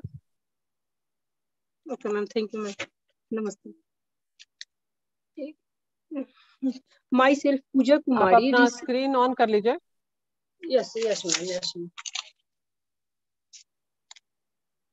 myself Pooja Kumari, research scholar, Department of Chemistry, Manglayatan University, Aligarh, UP. to all members, participants, and listeners, the very thankful to team research uh, research committee and also thank thanks to Patna Women's College organized international conference of Department of Computer Application Patna University. I uh, I also I also thanks to respected sorry I I also supervisor Dr. Hari Saraswat Sir Department of Chemistry Manglayatan University UP and also thanks to respected co-supervisor Sir Dr. S. Sekhar Sir Department of Chemistry Jayaprakash University Chopra Bihar my respect my respective research title is a study on characterization on chemistry and biological approach of imidazole derivatives. And my research paper and uh, presentation topic, characterization, uh, characterization and study of imidazole with uh, some chemical compound and antifungal drug. Imidazole, any of a class of organic compounds of the heterocyclic series characterized by a ring structure composed of three carbon atoms and two nitrogen atoms at non-adjacent positions. The simplest number of the imidazole family in imidazole itself, a compound with molecular formula C3H4N2. Introduction and core areas. Imidazole was first prepared in 1858. Uh, other imidazole compounds have been non non longer uh, no longer alentine and parabenic acid were prepared in 18037 from uric acid. The amino acid histidine and the its decomposition product histidine have the imidazole structure as does biotin, a growth factor for humans and yeast. Chemical compound. Furan is a heterocyclic cyclic organic compound that my class of organic compounds of the heterocyclic atomic series characterized by a ring structure composed of one oxygen atom and four carbon atoms. The simplest number of the furan family, if furan itself a colorless, volatile and somewhat toxic liquid toxic liquid uh, that boils at 31.36 degree. It is usually converted by hydro, hydrogenation hexa, hexamethylene. The raw materials for several other members of the furan family are Uh, produced on a large, uh, large scale for use as solvents and chemical raw materials. Antifungal drug. Any substance that acts mm, selectively against a fungal pathogen in the treatment of fungal infection. The major groups of antifungals are the polyenes, the azoles, and the allylamines. These groups are primarily by chemical structure and mechanism of action. Important drugs that do not fall uh, within these groups, but the, uh, that are used in the treatment of fungal infections include the griseofulvin and flucytosine. Thank you, ma'am. So thank you, Pooja Kumari. जी नमस्ते ma'am Namaste. So thank you so much for your information regarding the imidazole. So now we have come to the end of this session. Thank you, ma'am, for your uh, uh, insightful words. So I would now request you to kindly give the closing remarks of the. Uh, excuse me, ma'am. Yes. Ma'am, also uh, co-supervisor for this uh, research paper to Pooja Kumari. Please uh, give me order for some presentation to a related topic. So if you want to present, you can present because Pooja was not able to present or uh, share her screen. Uh, actually, uh, ma'am, uh, I am too too late for discussions for connecting his uh, technical problem. So I'm really extremely sorry for that mm, guidance. So next time I will promise to all of your team. This is a. So if you want to present, you can proceed. Uh, yes, ma'am. I want to. आपका presentation है ready आप जो पूजा कुमारी present की है उसका हाँ है ma'am present करना चाह रहे हैं आप यस मैम कितनी देर में कर पाएंगे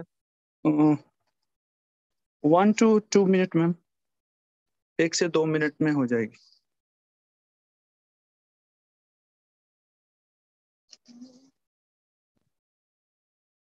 आपको पहले से रेडी रहना चाहिए था प्लीज़ हाँ एक्चुअली मैम थोड़ा इसमें मैम मैं एक बार पूछा था कि स्क्रीन शेयर का जो प्रॉब्लम आता है तो उनको कोई नंबर अगर दे सके वो लोग तो फिर फिर उन लोगों तो ने थोड़ा सा पहले होता है ना अभी लास्ट आवर्स में अभी हम किसका नंबर आपको देंगे? अभी तो यहाँ अगल बगल मेरे पास पीपीटी है पड़ा हुआ तो मैम कोई अगर व्हाट्सएप नंबर हो तो please provide me ma'am shortly one second please अगर हो मैम कोई व्हाट्सएप नंबर तो थोड़ा दिया जाए।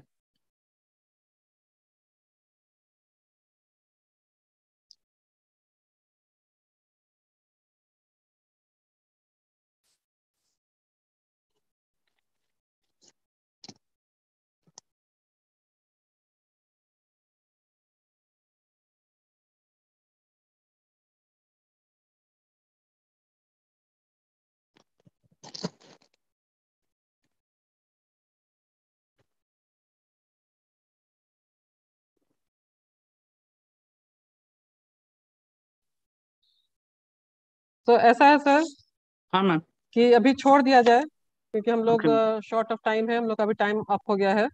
मैम मैं थोड़ा सा सिर्फ़ इसमें कंक्लूजन एंड रिज़ल्ट और केमिकल जो यूज़ है वो मैं बता देना चाहता हूँ ताकि हम लोग का ये ज्वाइंट पेपर पब्लिश होने वाला है मैम आपके यहाँ और ये नेसेसरी है मेरे अकॉर्डिंग तो please allow me for few minutes time ma'am only just objectives and anti fungal drug is important कर लीजिए बोल लीजिए। Okay, ma'am. Uh, okay, thank you to uh, my judges for allow few minutes for presentation to my uh, scholar and supervisor.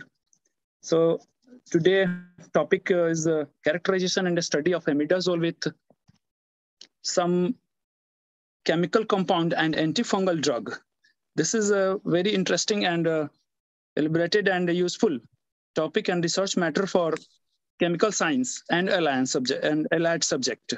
This is a imidazole is any of a class of organic compounds of the histocyclic series characterized by a ring structure composed of three carbon atoms and two nitrogen atoms at non-adjacent positions.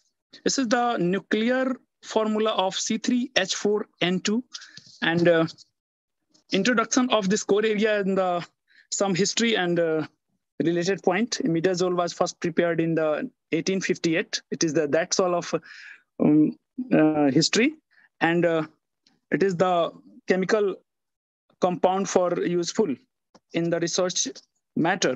The furan is the histocyclic organic compound that uh, base of chemical system in the organic compound of histocyclic aromatic series characterized by a ring structure composed of one oxygen atom and four carbon atom that's all. And antifungal drug in the compound for four type of antifungal drug the polyenes the azoles the allylamines and other antifungal drug. The first uh, first of the antifungal drug the polyenes such as amphot- amphotericin b and nesterine and second the azoles the azoles antifungal agents, which are further divided into the imidazole and triazole according to the number of nitrogen molecule in other organic ring structure. And third, the allylamines, the allylamines, terbinafine and naftifine, the synthetic antifungal agent that are effective in the uh, topical and oral treatment.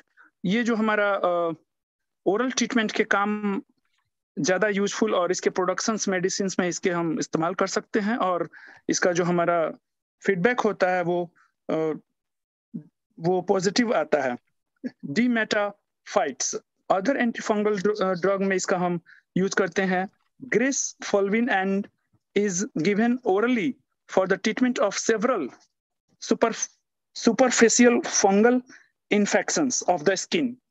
हमारे organs और skin के जो antifungal treatment होते हैं, उसके behalf में हम इसका इस्तेमाल करते हैं।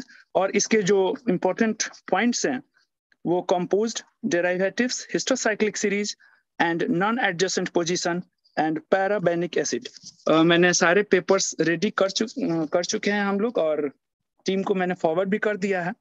तो आशा है कि एक्सेप्ट होगा और अगर कोई प्रॉब्लम आती है तो मैं उस पर भी रिव्यू करूँगा ma'am So uh, thank you for giving important time for your part time in today conference. So that's all, ma'am.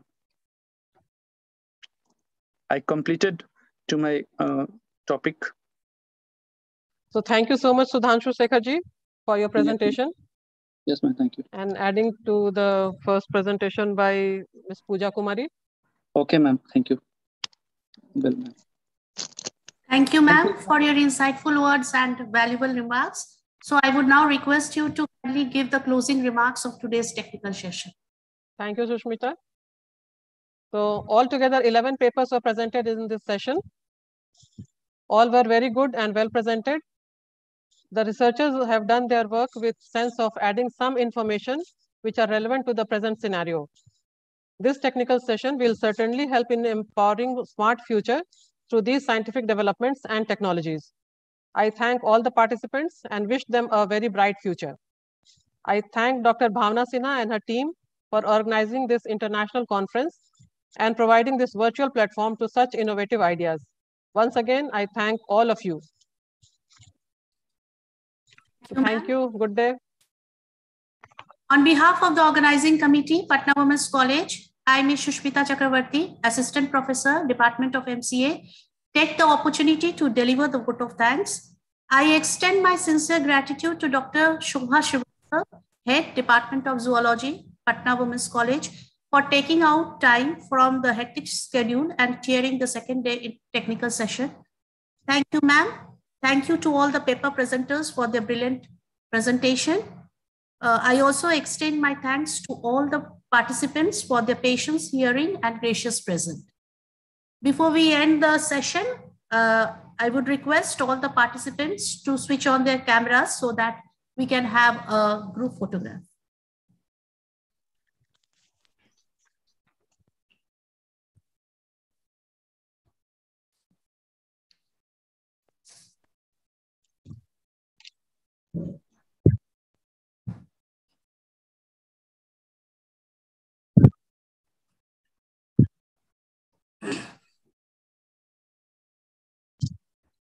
Okay, with this, we end with today's session. Uh, thank you once again to all. Have a nice day. You all are requested to leave the meeting. Thank you once again. Have a nice day.